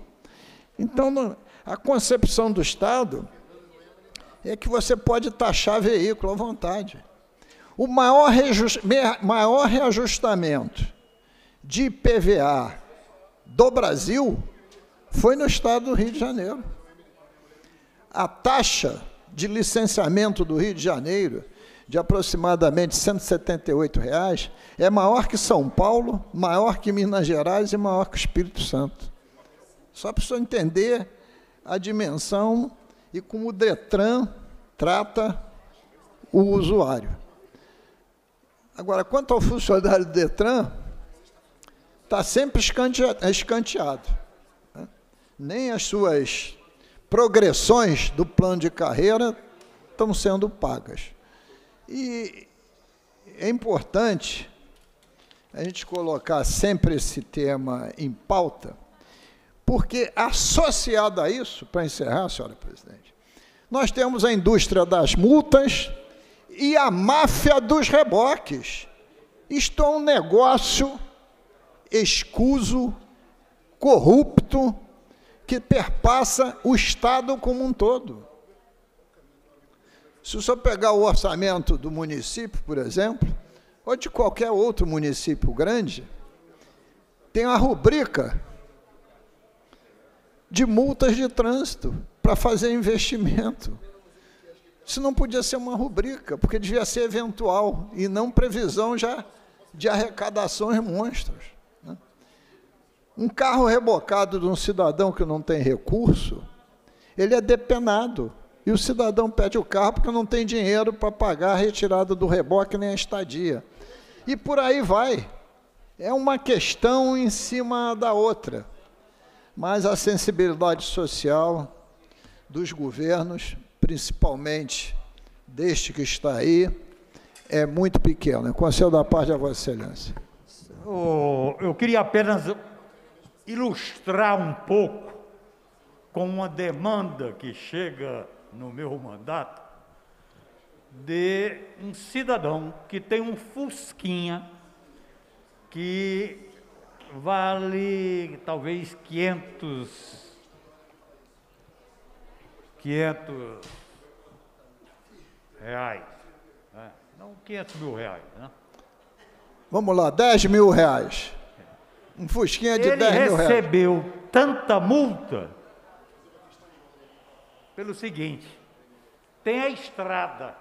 A estrada não tem faixa de domínio, porque antes dela passar tinha casas, então a casa está praticamente no que seria, por exemplo, faixa de domínio. O DR passa lá e saiu canetando todo mundo que tinha seu carrinho No estacionamento da casa. estacionado em frente à casa. Um absurdo. Mas é isso daí, o grande problema mesmo, eu não sei se. Hoje, por exemplo, um jornal aí, eu não, não me lembro qual, está trazendo a forma do governador administrar as políticas públicas do Estado do Rio de Janeiro. Então, ele está numa disputa de obter o apoio de um partido, União Brasil, né, que é PSL com DEM. E a briga é o seguinte, é que o, o, o, o prefeito Vaguinho, foi deputado aqui desta Sim, casa, está exigindo realmente que para o governador ter o apoio, então ele tem que ter o Detran e, e o DER. Então, quer dizer, qual é, por que isso? Qual é a característica desses órgãos? Totalmente alterada, modificada. Então, prevalece agora exatamente você ter nas mãos um órgão que seja arrecadador. Arrecadador. É, é isso é que é um. Isso é que não está. Entendeu? E, e aí, como é que nós vamos resolver essa parada? Né? Quer dizer, realmente é complicado. É complicado. Quer dizer, um governo que administra as políticas públicas do Estado. Desta forma, aí complica tudo. Complica tudo. Eu só me pergunto, concluindo, senhora presidente, será, será que acordos desse naipe não são crimes eleitorais? Provavelmente o são. Agradecendo ao deputado Augusto Paulo, eu vou pedir, ao, com a autorização do presidente da Casa, o deputado Rodrigo Amorim quer fazer uma brevíssima declaração É uma de brevíssima, voto. é uma questão de ordem, presidente. Pois Conversei não. com o presidente e agradecer a presidente de Vossa Excelência para registrar o meu voto contrário a essa infinidade de títulos Marielle Franco. Está fixada na, na fachada da Câmara Municipal quem matou Marielle Franco. Eu fico aqui com o meu questionamento: quem matou, quem mandou matar Jair Bolsonaro. Me causa perplexidade de uma infinidade de títulos Marielle Franco nessa casa, quando na verdade a gente tem limitação de dar medalha Tiradentes, quando a autora das dos requerimentos está passeando, batendo perna em Nova York. Eu vejo os deputados do PSOL, o deputado Serafine aqui trabalhando com afinco, e a deputada que foi a propositora batendo perna em Nova York. Então quero registrar, Excelência, o meu voto contrário ao que eu considero essa aberração em ano eleitoral de querer conceder esse prêmio justamente para fazer uma campanha antecipada. Então, pedir a Vossa Excelência que considere os, meu- os meus votos contrários a todas as proposições, conferindo a titulação Marielle Franco a quem quer que seja. Muito obrigado, presidente. Próximo orador inscrito é o nobre deputado, a nobre deputada Alana Passos, que ontem cumpriu religiosamente o seu tempo. Em seguida, assumiu a presidência dessa, dessa sessão e vai fazer uso da palavra deputado Flávio Pela ordem, Serafini. rapidamente, presidente. Rapidamente. Só quero registrar que a deputada Renata Souza se encontra eh, representando essa casa junto a organismos internacionais na defesa de direitos humanos. Ela não se encontra batendo perna, ela se encontra fazendo o belíssimo trabalho de representação parlamentar que ela tem feito de luta pelos direitos humanos. Obrigada, deputado Flávio Serafini. Deputada Alana Passos. Boa tarde, presidente, deputada Marta Rocha. Está presidindo sempre brilhantemente o expediente final. Quero saudar os meus colegas deputados que estão aqui presentes, aos servidores, todos que nos assistem através da TV Alerj e também através das nossas redes sociais. Minha primeira fala hoje, deputada Marta Rocha, eu estou muito feliz que o meu projeto de lei número 1068 de 2019 foi aprovado. É um projeto autorizativo aonde o Poder Executivo inclui o segmento feminino no programa Segurança Presente no âmbito do Estado do Rio de Janeiro. Para todo mundo que me conhece, e eu faço questão de repetir todas as vezes que eu faço uso da palavra, que eu sou militar do Exército, sou paraquedista e com muito orgulho. Eu sou conhecedora nata da, e com propriedade da capacitação do segmento feminino que atuam nas Forças Armadas. Eu sou uma militar de carreira, porém, nós temos diversos, diversas mulheres do segmento feminino que são temporárias, que exercem suas funções brilhantemente durante sete anos e, no final disso tudo, vão para casa e são mulheres totalmente capacitadas, habilitadas, seja tecnicamente, com tiro, pela aptidão física. Então, esse projeto, ele surgiu para que tenha um olhar especial do governo do estado para reutilizar essas profissionais tão capacitadas no âmbito do segurança presente. No decorrer da minha caminhada, eu sempre vejo vários agentes civis do segurança presente, mas eu não encontro segmento feminino para fazer essa representatividade. E eu acho isso de suma importância. Então, hoje eu estou muito feliz com a aprovação desse projeto. E, assim como a deputada Marta Rocha falou, ontem eu iniciei a minha fala e, para não extrapolar o meu tempo limite, eu volto no dia de hoje para dar continuidade ao que eu encontrei nas minhas fiscalizações. Mas antes disso, é, eu queria deixar uma coisa bem clara. Eu sou parlamentar há três anos, meu primeiro mandato. Eu sou uma parlamentar, sim, comprometida com aquilo que eu me propus a fazer. E para quem me conhece sabe que uma das minhas melhores e que eu faço com muito amor nas minhas atuações são as fiscalizações.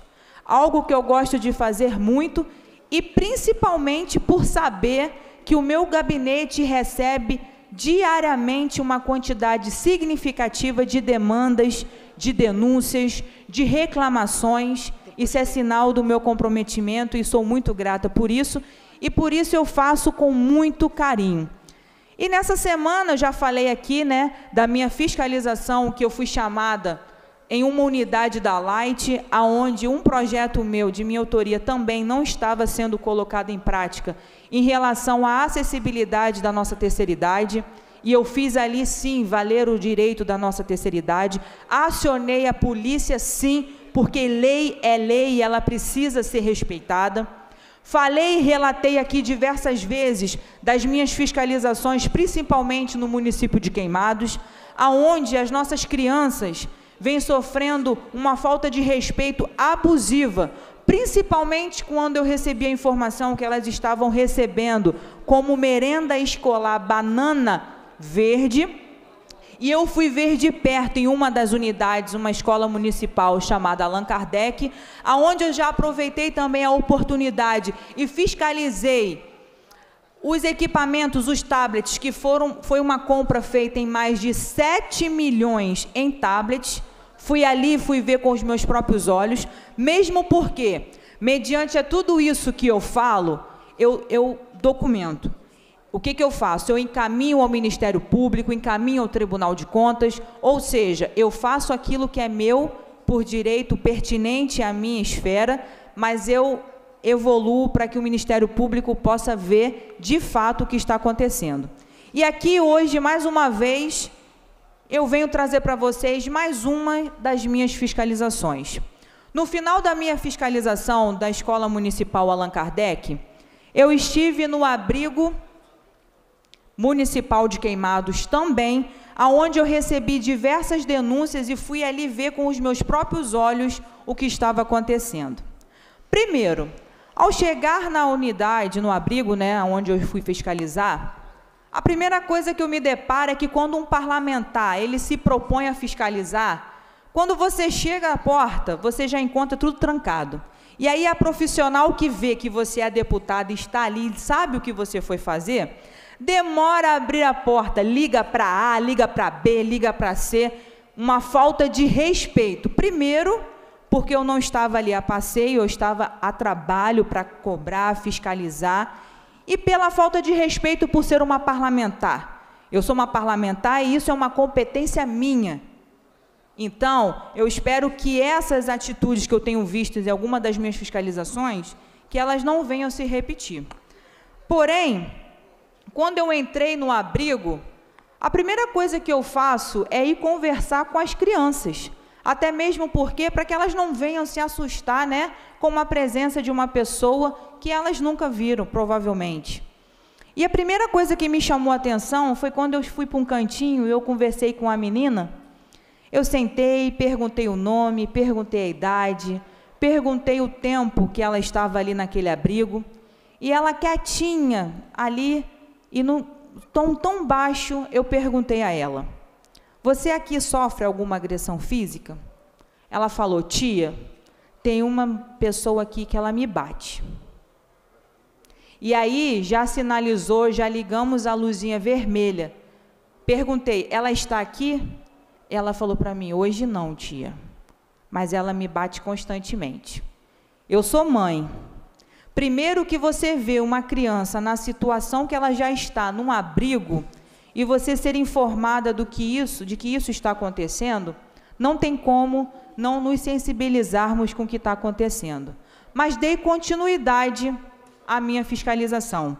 Fui até observar toda a parte das estruturas. E eu queria dizer para vocês que eu, como parlamentar, além de uma das minhas atribuições ser fiscalizar, o parlamentar também tem o seu limite. Após ele averiguar e ver com seus próprios olhos tudo aquilo que ele fiscalizou, nos cabe encaminhar isso ao Ministério Público. E eu queria dizer para vocês que foi isso que eu fiz. Eu, deputada Lana Passos, encaminhei ao Ministério Público todas as irregularidades que eu observei naquele lugar. O primeiro item que eu relatei foi justamente a fala dessa menina. Me tocou muito, me sensibilizou muito, mas agora cabe ao Ministério Público, de fato, e vou estar encaminhando também para a comissão de, das crianças, dos adolescentes, dos idosos, para que a presidente possa também estar vendo o que está acontecendo nesse abrigo. Queria dizer para vocês que, além desse ato que me foi relatado, também encontramos condições estruturais, aonde a instalação do abrigo é totalmente precário. Lá, as crianças não têm um espaço onde elas possam ter as suas recreações. Quando eu cheguei e me deparei com o único ponto positivo que eu pude ver, foi a parte da alimentação. Precisamos também ser justos na nossa fala. E eu fiquei feliz nesse momento quando eu encontrei as crianças se alimentando. Pude ver a comida com salada, mas não tinha um local apropriado para que elas pudessem fazer as suas alimentações. Então, esse foi um dos itens que eu vi. Aquele lugar onde elas estavam não tinha um espaço onde elas pudessem verdadeiramente se sentir como crianças. Não tinha nenhum informativo que nos é, mostrasse que ali de fato era um abrigo, não tinha nenhuma sinalização, nenhuma parte escrita, abrigo municipal de queimados, não tinha. Verifiquei também que uma parte do abrigo, a rede de esgoto estava quebrada, fazendo com que as crianças sejam obrigadas a conviver diariamente com dejetos que deveriam ser escoados pela tubulação. E pasmem vocês, e eu perguntei aos funcionários, porque ali eu vi que tinha funcionários homens. Não é possível que você trabalha, esteja ali diariamente, você seja impossibilitado de fazer essa correção do que está acontecendo aqui. Não, mas não. As crianças vão correr, vão buscar um pouco espaço que tem para brincar, em cima de várias partes de esgoto, de tubulação, um odor totalmente desagradável. Contestei também que uma das portas do abrigo não tem a placa de alumínio que vedam a saída do ambiente interno, facilitando assim a fuga das crianças. E pasmem, durante o decorrer, não sei dizer ao certo se na semana ou no mês, uma criança de oito anos fugiu. E mesmo com essa fuga, esse problema não foi sanado. O buraco está lá exposto, tem um armário tampando, que não está tampando nada, porque fica fácil o acesso, e o que vai impedir que essas crianças venham a fugir novamente? Então, mais um item que foi constatado. Além disso, repetindo, a área onde as crianças deveriam realizar as suas atividades, as suas recreações, essa área externa, elas estavam completamente abandonadas, estavam completamente sujas. Era perceptível que ali, semanas ou talvez até meses, uma vassoura não passava. E pasmem vocês que ainda me falaram, né, no momento da, fiscalização, que foi feita a limpeza de manhã, mas o vento trouxe a sujeira. Eu até estranhei, ainda falei para ele, vento não, né? Você quer dizer vendaval, tempestade, porque estavam realmente muito sujos. Tinham cadeiras que já não eram mais utilizadas, que estavam jogadas a qualquer maneira lá fora no terreno. Ou seja, se uma criança dessa pega uma cadeira que vem dia após dia de sol e chuva, enferrujando, uma criança dessa cair ali em cima, você imagina o estrago que isso vai causar. Outra questão importante que eu fui na parte técnica da saúde e fui informada, perguntei: cadê a profissional de saúde? Como é feito aqui o atendimento para com as crianças? Médico não tem. O que eles me relataram é que levava, né, até o médico, ali ele prescrevia e fazia os seus atendimentos e a profissional técnica de enfermagem fazia parte da administração da medicação prescrita. Mas eu perguntei, mas cadê a profissional? Ela não se encontrava porque tinha saído para fazer uma inspeção médica em uma das crianças. Tá. Mais uma pergunta. Se sai uma profissional, quem fica para fazer a cobertura na retaguarda? Porque se uma daquelas crianças vier a sofrer qualquer coisa, não tem ninguém para atender, não tem nenhum veículo para socorrer e isso não pode acontecer. Resumindo, sei que meu tempo já está esgotando. Uma das minhas atribuições, como eu disse no início da minha fala, é justamente essa: cobrar e fiscalizar. Eu tenho certeza e convicção para que todos os parlamentares que estão aqui presentes foi uma atribuição nos imposta, nos dada com muito amor e carinho por todos aqueles que nos elegeram para estar aqui. Então, quando eu, deputada Alana Passos, recebo uma denúncia, pode ter certeza que eu não vou cair em prevaricação. Eu vou lá e vou ver com os meus próprios olhos e relatar ao Ministério Público assim como eu fiz. E pode ter certeza que eu estarei retornando novamente a esse abrigo para ver se tudo aquilo que me foi prometido que estaria sendo realizado realmente será, ou se apenas foram falácias mediante a minha fiscalização. Quero finalizar, deputada Marta Rocha, apenas com uma simples fala. Eu sou deputada Ana Passos, comprometida com o meu trabalho, faço isso desde o meu primeiro dia de posse como deputada. Não adianta vir A, B ou C a dizer que eu só faço isso porque estamos em ano de eleição. Aquele que me conhece, aquele que acompanha meu trabalho e sabe do meu comprometimento, da minha responsabilidade, sabe que eu, quando estou ali cobrando e fiscalizando, é para representar aqueles que me chamaram. E, principalmente, desejando o bem para nossas crianças, o mesmo bem que eu desejo para a vida das minhas filhas. Então, que continuemos aqui nesse parlamento cobrando, e fiscalizando. Essa é uma das nossas atribuições e precisamos fazer da melhor maneira possível. Obrigado, presidente. Agradecendo a deputada Lana Passos. Próximo orador inscrito é o nobre deputado Valdec Carneiro. Não se encontrando presente, deputado Gustavo Schmidt. Vossa Excelência tem 10 minutos para sua manifestação.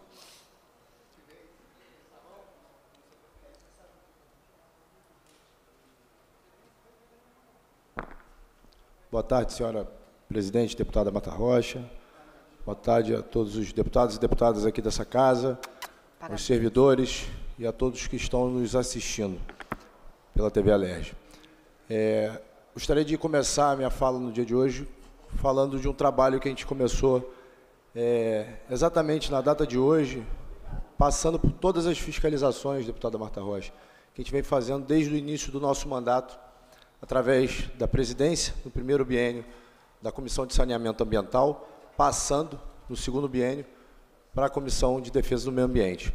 Foram mais de 2 mil ofícios, até o presente momento do nosso mandato, expedidos para diversos órgãos, cobrando exatamente é, o cuidado nos 92 municípios do nosso Estado com o meio ambiente.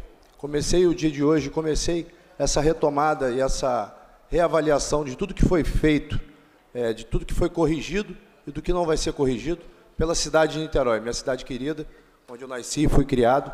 E vou fazer toda essa agenda de retomada de todos esses principais pontos do nosso Estado a partir dos próximos, das próximas semanas e próximos meses. Constatei hoje, foi a primeira vistoria que a gente foi fazer, foi no Parque Orla Piratininga.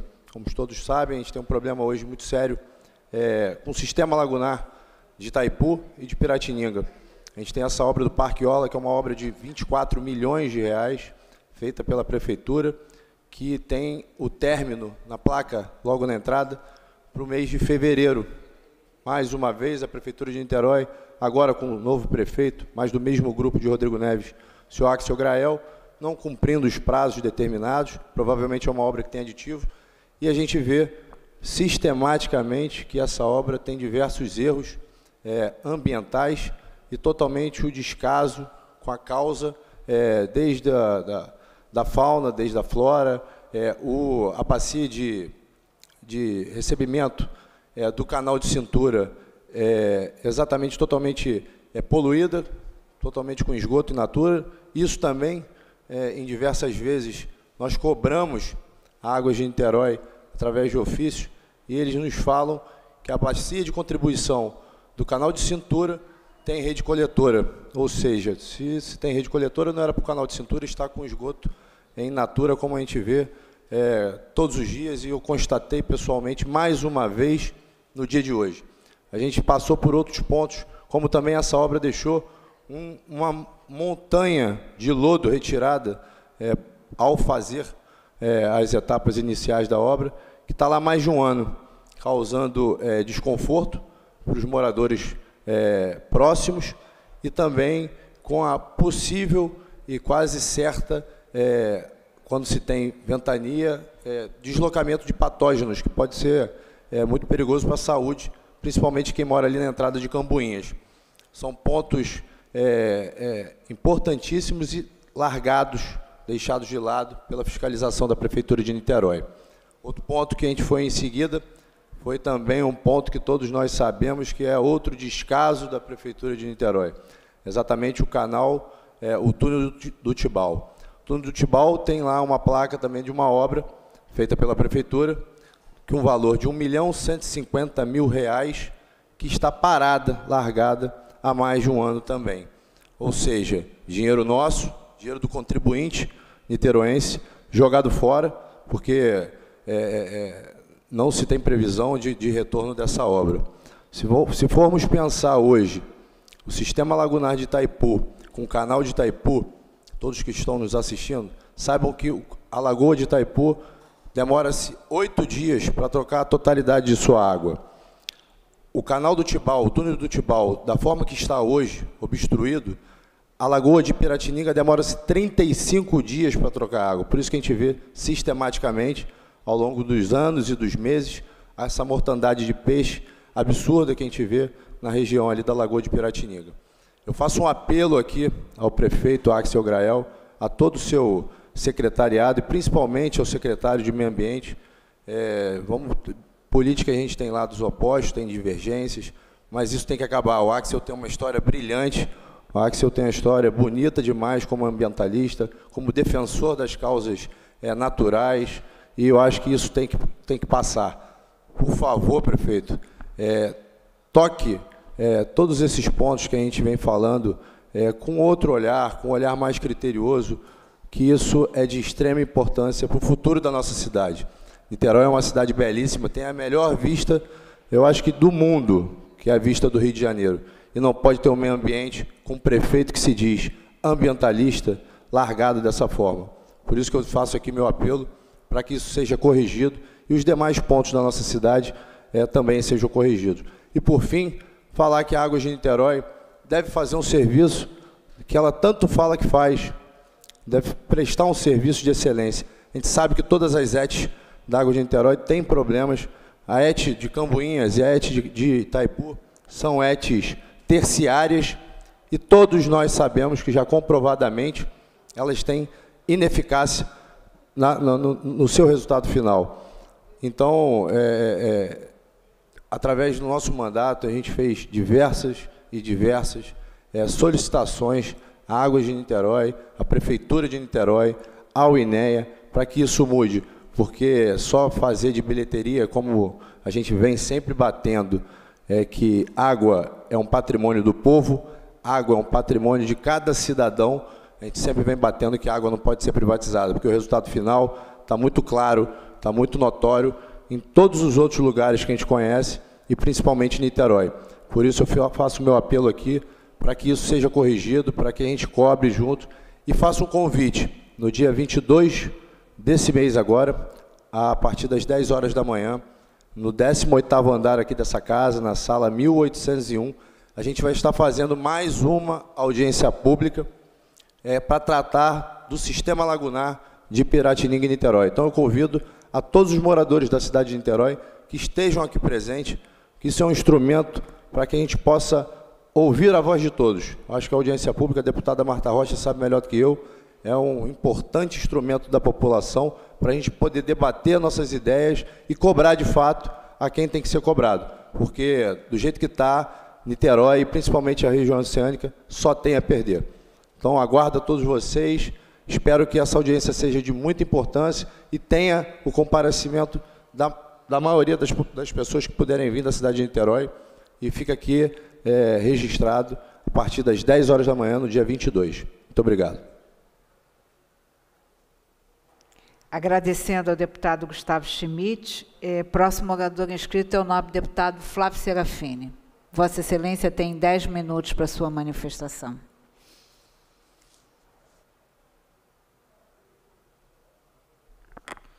Boa tarde, presidente Marta Rocha, Boa tarde a todas e todos que nos acompanham. Eu venho à tribuna mais uma vez falar sobre o drama da escola pública no estado do Rio de Janeiro. A gente, no ano passado, trouxe para essa casa o debate sobre os impactos negativos que a implementação da reforma do ensino médio poderia trazer para a educação do Estado do Rio de Janeiro. Como se não bastasse o fato dessa ser uma reforma que desmonta bases importantes da formação da nossa juventude, reduzindo a carga horária de todas as disciplinas, tanto da sociologia, da filosofia, da história, da geografia, quanto da biologia, da química, da física, da matemática, o que tem um impacto na formação dos nossos alunos tremendo. Essa reforma do ensino médio se propôs a um calendário de implementação que se combinou com a pandemia. E as escolas estaduais do Rio de Janeiro ficaram quase dois anos sem ter aula. Nesse período, a gente teve três secretários de educação diferentes, o que evidentemente impactou a possibilidade de debate nas escolas, envolvendo os alunos, envolvendo os professores, as comunidades escolares de maneira geral, para debater o que fazer com todas as mudanças que essa reforma do ensino médio propõe na formação dos nossos estudantes. A Secretaria de Estado de Educação participou da audiência pública, disse que se fosse para todo o sistema estadual de ensino, envolvendo as escolas particulares, é, não se negaria a caminhar nesse sentido. A gente aprovou o projeto nessa casa, dialogou com o Conselho Estadual de Educação, dialogou também com as instituições privadas. Na hora do governador sancionar o projeto, ele vetou o projeto. Ele vetou fez com que a implementação da reforma do ensino médio se iniciasse no ano que vem. O único argumento que o governo apresentou foi de que é uma legislação federal que tinha que ser cumprida.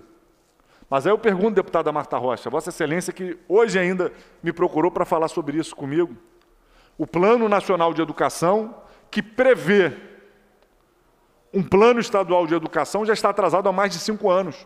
Essa lei, que seria tão importante para o Estado do Rio de Janeiro, que tem uma troca de secretário de educação por ano, você ter um plano que orientasse a ação de todos os secretários, essa lei eles não acham importante cumprir.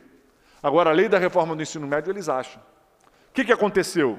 O ano letivo começou e as escolas não tinham recebido as disciplinas. Receberam na véspera do início do ano letivo, mas receberam sem o inventário, sem o textinho que diz o que, que cada uma daquelas novas disciplinas vai abordar. Não se sabia quais professores de que áreas poderiam dar quais disciplinas. O ano letivo começou assim, um caos, uma bagunça. E culminou que o início do ano letivo coincidiu com o calendário de apreciação dos vetos aqui nessa casa. A gente falou, vamos derrubar esse veto. Nas instituições privadas, que têm maior capacidade financeira, que ocupam maiores fatias do mercado, a propaganda que eles fazem é: aqui você não perde nenhuma disciplina. E estão fazendo uma implementação da reforma do ensino médio sem cortar disciplina. Enquanto isso, a proposta da SEDUC é de corte radical nas disciplinas, precarizando a formação dos nossos estudantes. A gente, quando ia apreciar, apreciar o veto aqui, no impasse com relação ao governo, tirou o encaminhamento de uma mesa de negociação. Propomos uma posição intermediária. Já que a SEDUC acha fundamental iniciar a implementação da reforma do ensino médio esse ano, a gente propôs, façam isso sem tirar nenhuma disciplina do primeiro ano do ensino médio. É possível. Na própria proposta da SEDUC, onde ela tirava um tempo de português, um tempo de matemática e excluía sociologia, a gente disse mantenha a sociologia, e com esse tempo de português e com esse tempo de matemática, introduza as novas disciplinas. Por que manter a sociologia? Primeiro, porque é importante ter sociologia no ensino médio. Segundo, porque você não pode tirar nenhuma disciplina do primeiro ano sem saber como é que vai ser o currículo dos outros anos. E até hoje, as escolas não sabem como vão ser os itinerários formativos as novas propostas curriculares que vão formar os estudantes. Então você já tem corte de disciplinas, deputada Marta Rocha, sem saber sequer como vão ser os, próprios, os próximos anos letivos. Isso é transformar a formação dos nossos alunos numa bagunça. Então, a gente, nessa mesa de negociação que saiu daqui, do dia em que ia se apreciar o veto, em que o veto foi retirado de pauta, a gente apresentou essa proposta de mediação. Na última reunião, na semana passada, não ficou claro se a Secretaria, se a Secretaria de Educação ia aceitar essa proposta ou não. A gente colocou que entendia que quarta-feira, que o dia de ontem, era um prazo importante para que essa resposta fosse dada, para que haja tempo de implementação dessa mudança na rede. Ontem a Secretaria de Educação não nos deu retorno. Hoje segue sem nos dar retorno. A gente espera que não esteja se fazendo uma política de fato consumado, que esse retorno só venha quando não dê mais tempo desse acordo ser fechado. Porque se isso acontecer, vai ser uma ruptura de diálogo muito grave. E a gente que tem, é, com firmeza, mas com muita serenidade, apostado no diálogo aberto, a gente entende que não existe diálogo aberto quando não se cumpre acordos, quando não se cumpre prazos e quando se trabalha com política do fato consumado. A Secretaria de Educação tinha colocado o dia de amanhã como data que ela gostaria para nos dar um retorno a gente colocou na reunião essa nossa preocupação. Quanto mais tempo, mais difícil fazer adequações na grade de horário. É, estamos considerando que o dia de amanhã é esse prazo máximo para a SEDUC nos dar essa devolutiva. E estamos sendo muito firmes de que a gente não tem dúvida de que a aposta no diálogo é o melhor caminho, de que essa reforma tem impactos estruturantes na formação da nossa juventude, especialmente da nossa juventude pobre, da nossa juventude periférica. E a gente tem a obrigação de conseguir dar respostas. Nós não aceitaremos a precarização da formação dos nossos estudantes, nem por atropelo, nem por falta de planejamento e nem por imposições ideológicas que deformem, que é, desfaçam a perspectiva de uma formação geral digna para os nossos estudantes.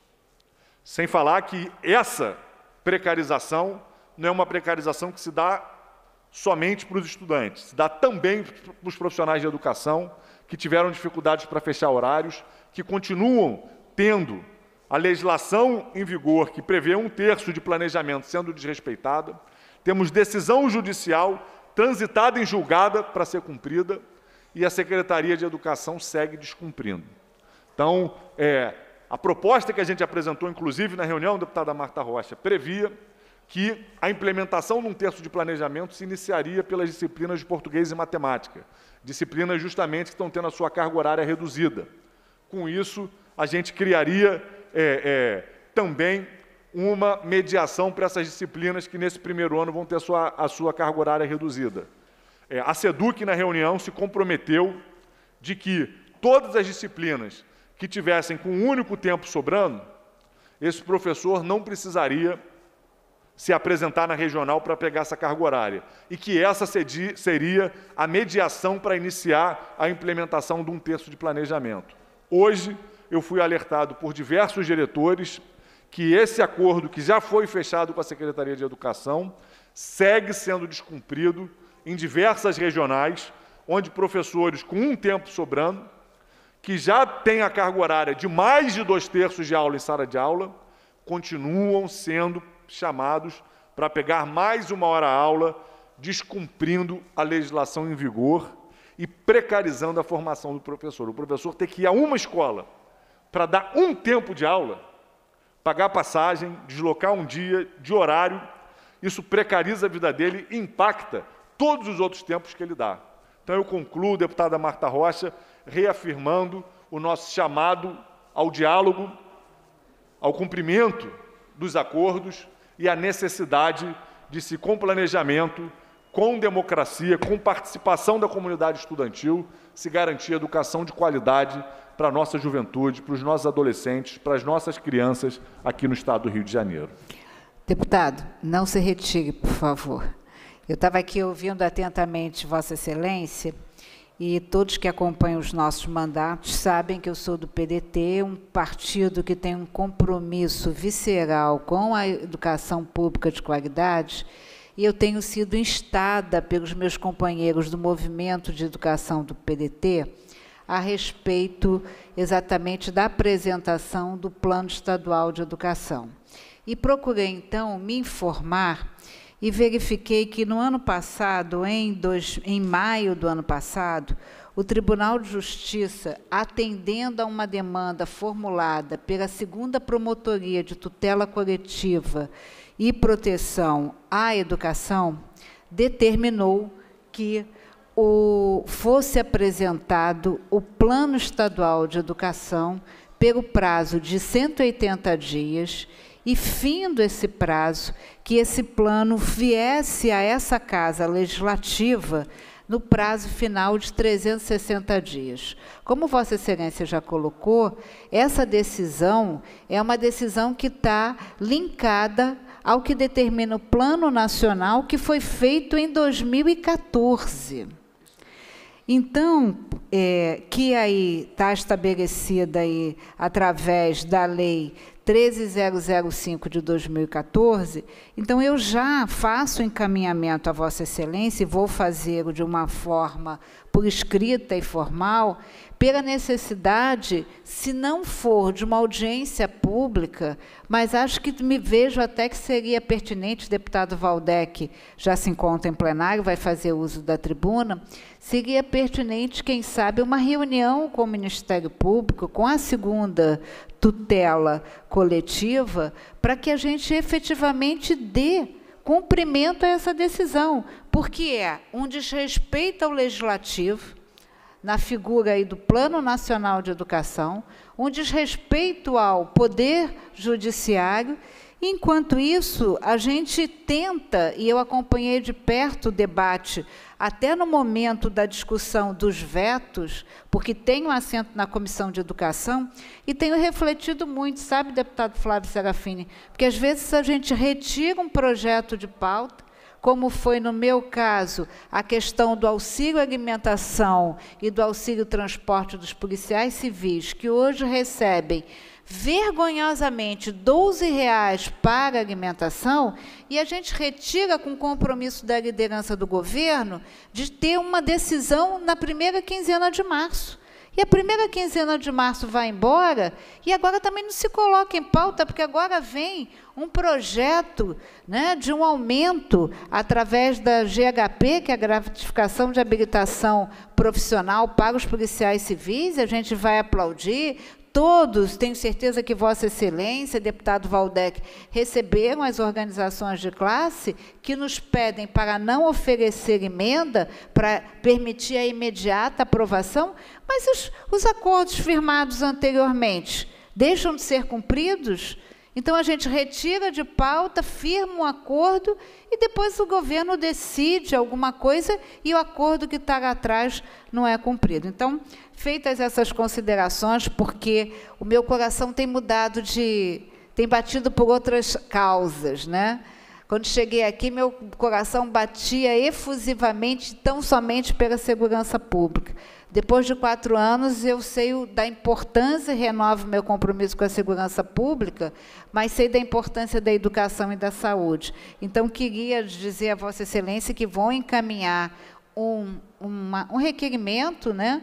não mais de audiência pública, porque eu acho que chamar aqui apenas um, o terceiro secretário em quatro anos, né? que já anunciam aí né, uma espécie de lenda urbana que vai se afastar para concorrer ao pleito eleitoral, não sei se procede ou não, mas eu acho que a gente tem que unir forças com o Ministério Público, com a defesa, com a Defensoria Pública, para fazer valer a determinação de uma lei federal de 2015 para elaboração não só do Plano Estadual de Educação, mas resolver de vez essa questão é, do que se trata aqui do programa do ensino médio. Obrigada pela gentileza de me ouvir.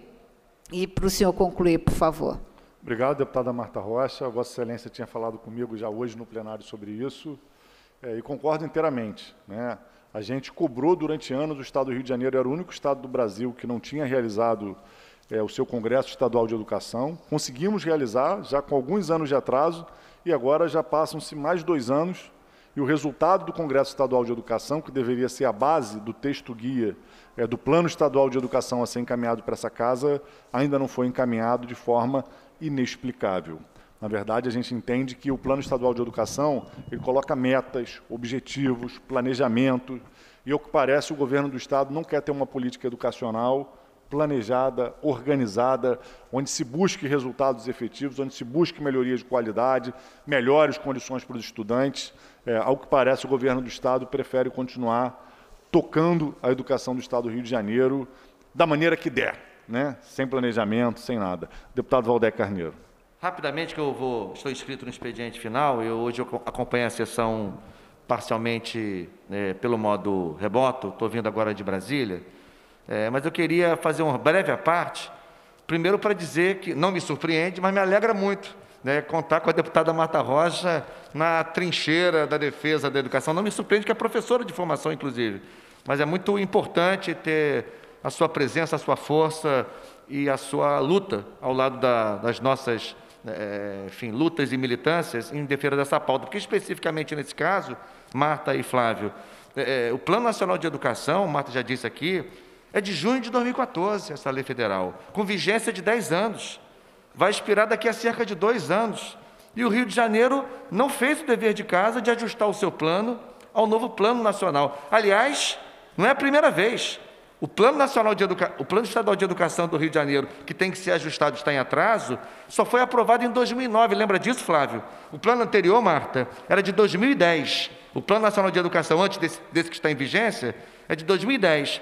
É, é, é de 2000, perdão. O Estado do Rio de Janeiro só fez o seu em 2009, quando o primeiro plano já estava expirando e agora está repetindo, repetindo a, a, história. Então, queria lembrar da importância, de fato, de termos alguma ação é, concreta. As audiências públicas são muito importantes, mas nem sempre são os melhores instrumentos para a gente buscar, digamos assim, ações concretas, respostas concretas, porque de fato é, é, é, lamentável. Eu não sabia dessa informação que a Marta trouxe aqui, é, que não, não, é bem uma informação, mas está havendo uma especulação em torno de uma eventual candidatura.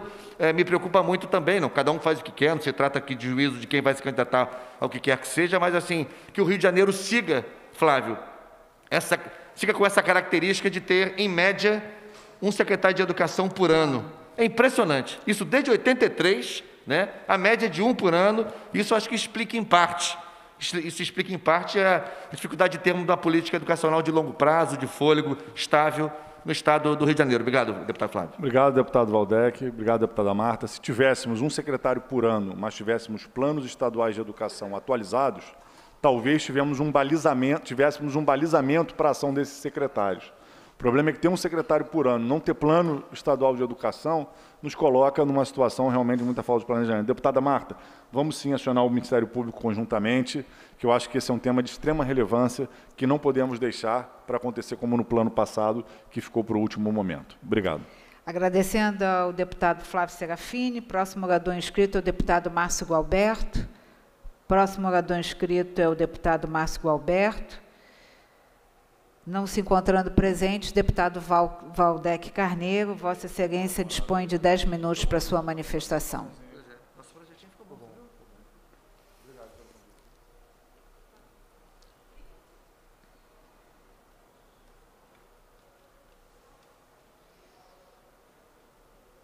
Deputada Marta Rocha, que preside o expediente final, é, deputadas e deputados que continuam ainda na sessão plenária pelo modo remoto, cidadãos e cidadãs que nos acompanham pela TV Alerj, nos seguem pelas redes sociais, imprensa e colegas trabalhadores e trabalhadoras da Assembleia Legislativa do Estado do Rio de Janeiro.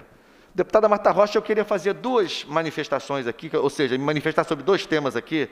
É, é, o primeiro deles, eu quero dar sequência à pauta da educação, que quando cheguei em plenário Vossa Excelência debatia com o deputado Flávio Serafini, é sobre um projeto que apresentei hoje, é, que é de minha autoria e de autoria do deputado Flávio Serafini, sobre a situação, Marta, dos agentes de educação infantil. Olha, é, é, todos nós sabemos, ou muitos de nós sabemos, que na, na educação da pequena infância, na educação na faixa de 0 a 5 anos e 11 meses, que configura a educação infantil, que é a primeira etapa da educação básica, a abordagem ela é muito, muito específica e muito complexa, porque na educação infantil há uma, uma articulação indispensável entre os atos de educar, de cuidar e de brincar. Né? A educação, o cuidado e a ludicidade, a brincadeira, são elementos absolutamente indissociáveis do trabalho de educação infantil. E como as crianças pequenas têm é, é, modos, ritmos, enfim, características é, muito específicas, é muito comum, em grande parte das escolas de educação infantil, que é, é, as turmas de educação infantil tenham uma dupla abordagem profissional. Um professor de educação infantil, um professor formado para o exercício ao magistério, e também um profissional de apoio ao docente da educação infantil, que em geral é o agente de educação infantil ou auxiliar de educação infantil. Essa denominação varia segundo as diferentes escolas, as diferentes redes públicas de educação.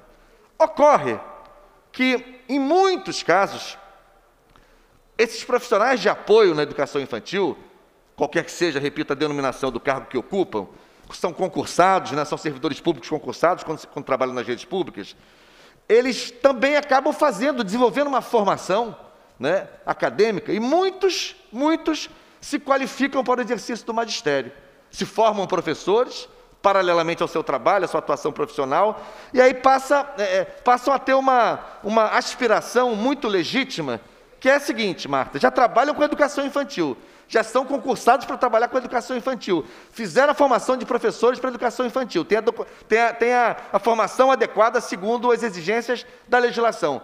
E aí querem um reconhecimento do sistema de ensino da sua condição docente. Isso é uma polêmica muito grande em todo o Brasil há muito tempo. E recentemente, o Supremo Tribunal Federal, examinando uma ação direta de inconstitucionalidade, referente a uma lei estadual, uma lei complementar estadual é, do Estado de São Paulo, é, que disciplina, inclusive, esse, esse ponto, o reconhecimento é, dos, dos, técnicos de educação infantil, porque lá são chamados assim, dos técnicos de educação infantil, em como professores, no caso das creches da USP, que são creches estaduais, o Supremo Tribunal Federal reconheceu a constitucionalidade dessa lei complementar, que garante a esses profissionais de apoio da educação infantil em São Paulo o reconhecimento para todos os efeitos da sua condição, da sua condição de docente. Eu cito aqui a lei, é, é, para que a gente não perca aqui a informação precisa, eu me refiro aqui à lei complementar 1202,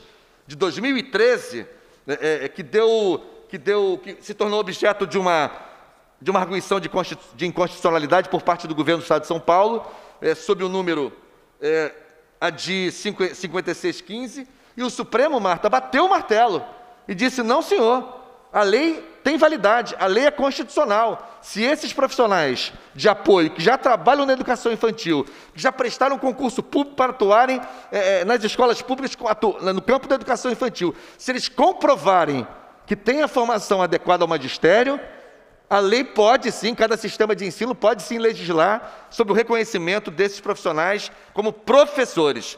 E por isso nós fizemos essa proposta, Marta. Apresentamos esse projeto de lei para que no âmbito do Estado do Rio de Janeiro, é claro que cada município tem o seu plano de cargos e fará né, o reconhecimento, o reenquadramento funcional de acordo com o que prevê o plano de cargos em cada município. Mas agora já há uma jurisprudência que emana do Supremo Tribunal Federal e aí a pergunta que não quer calar é a seguinte: se pode no estado de São Paulo, por que, não pode outros, nos outros estados da federação?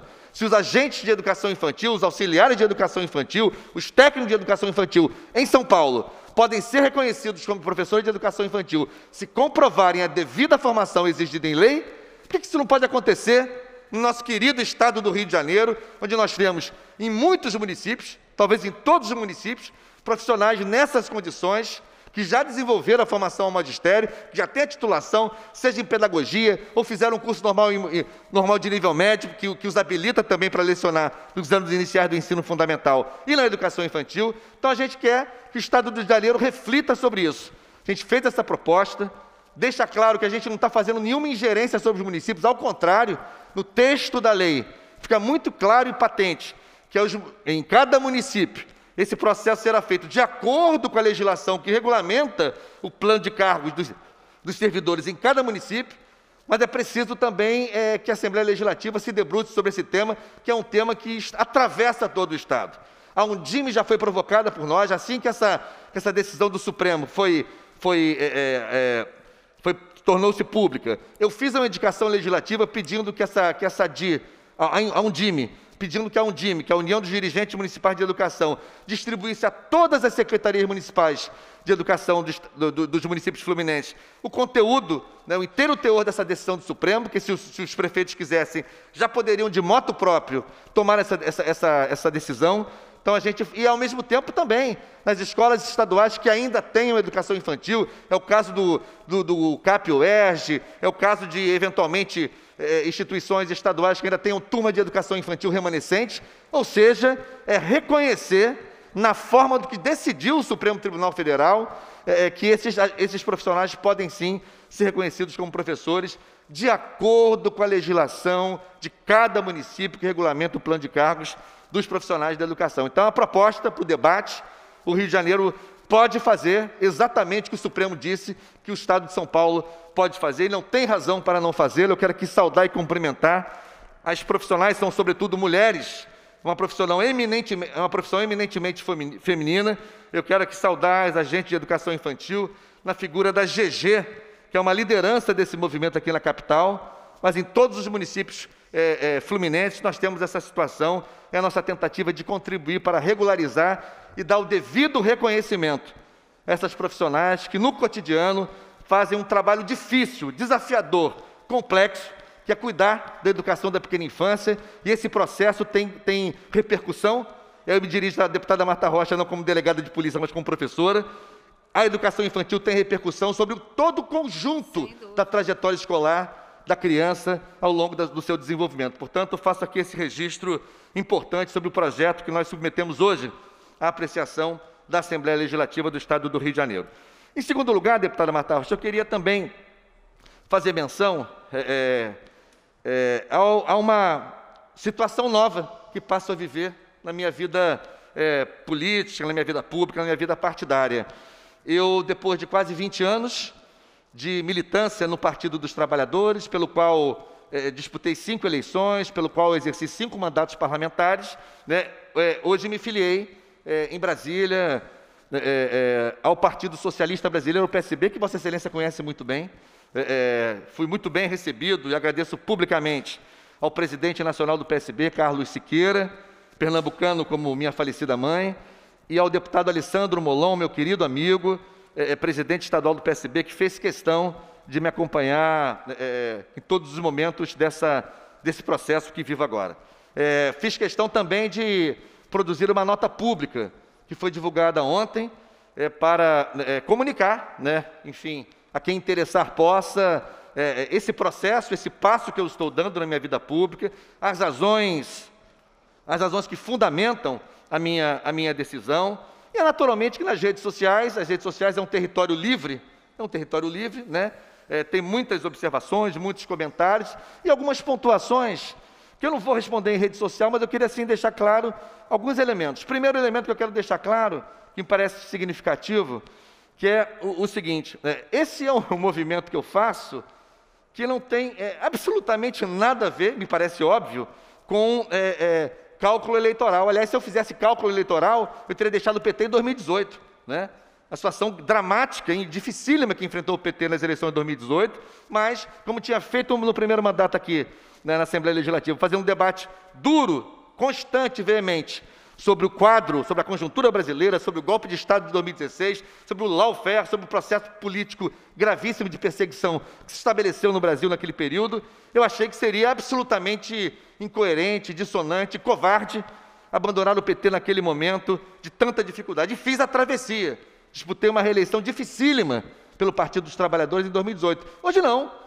Hoje o PT vive um outro momento. É hoje, inclusive, o maior líder nacional é, do PT é, volta a ser é, cogitado como, como candidato fortíssimo à presidência da República. Em 18, ele sequer disputou, porque foi preso, a meu ver, arbitrariamente, justamente para não participar do processo eleitoral de 2018.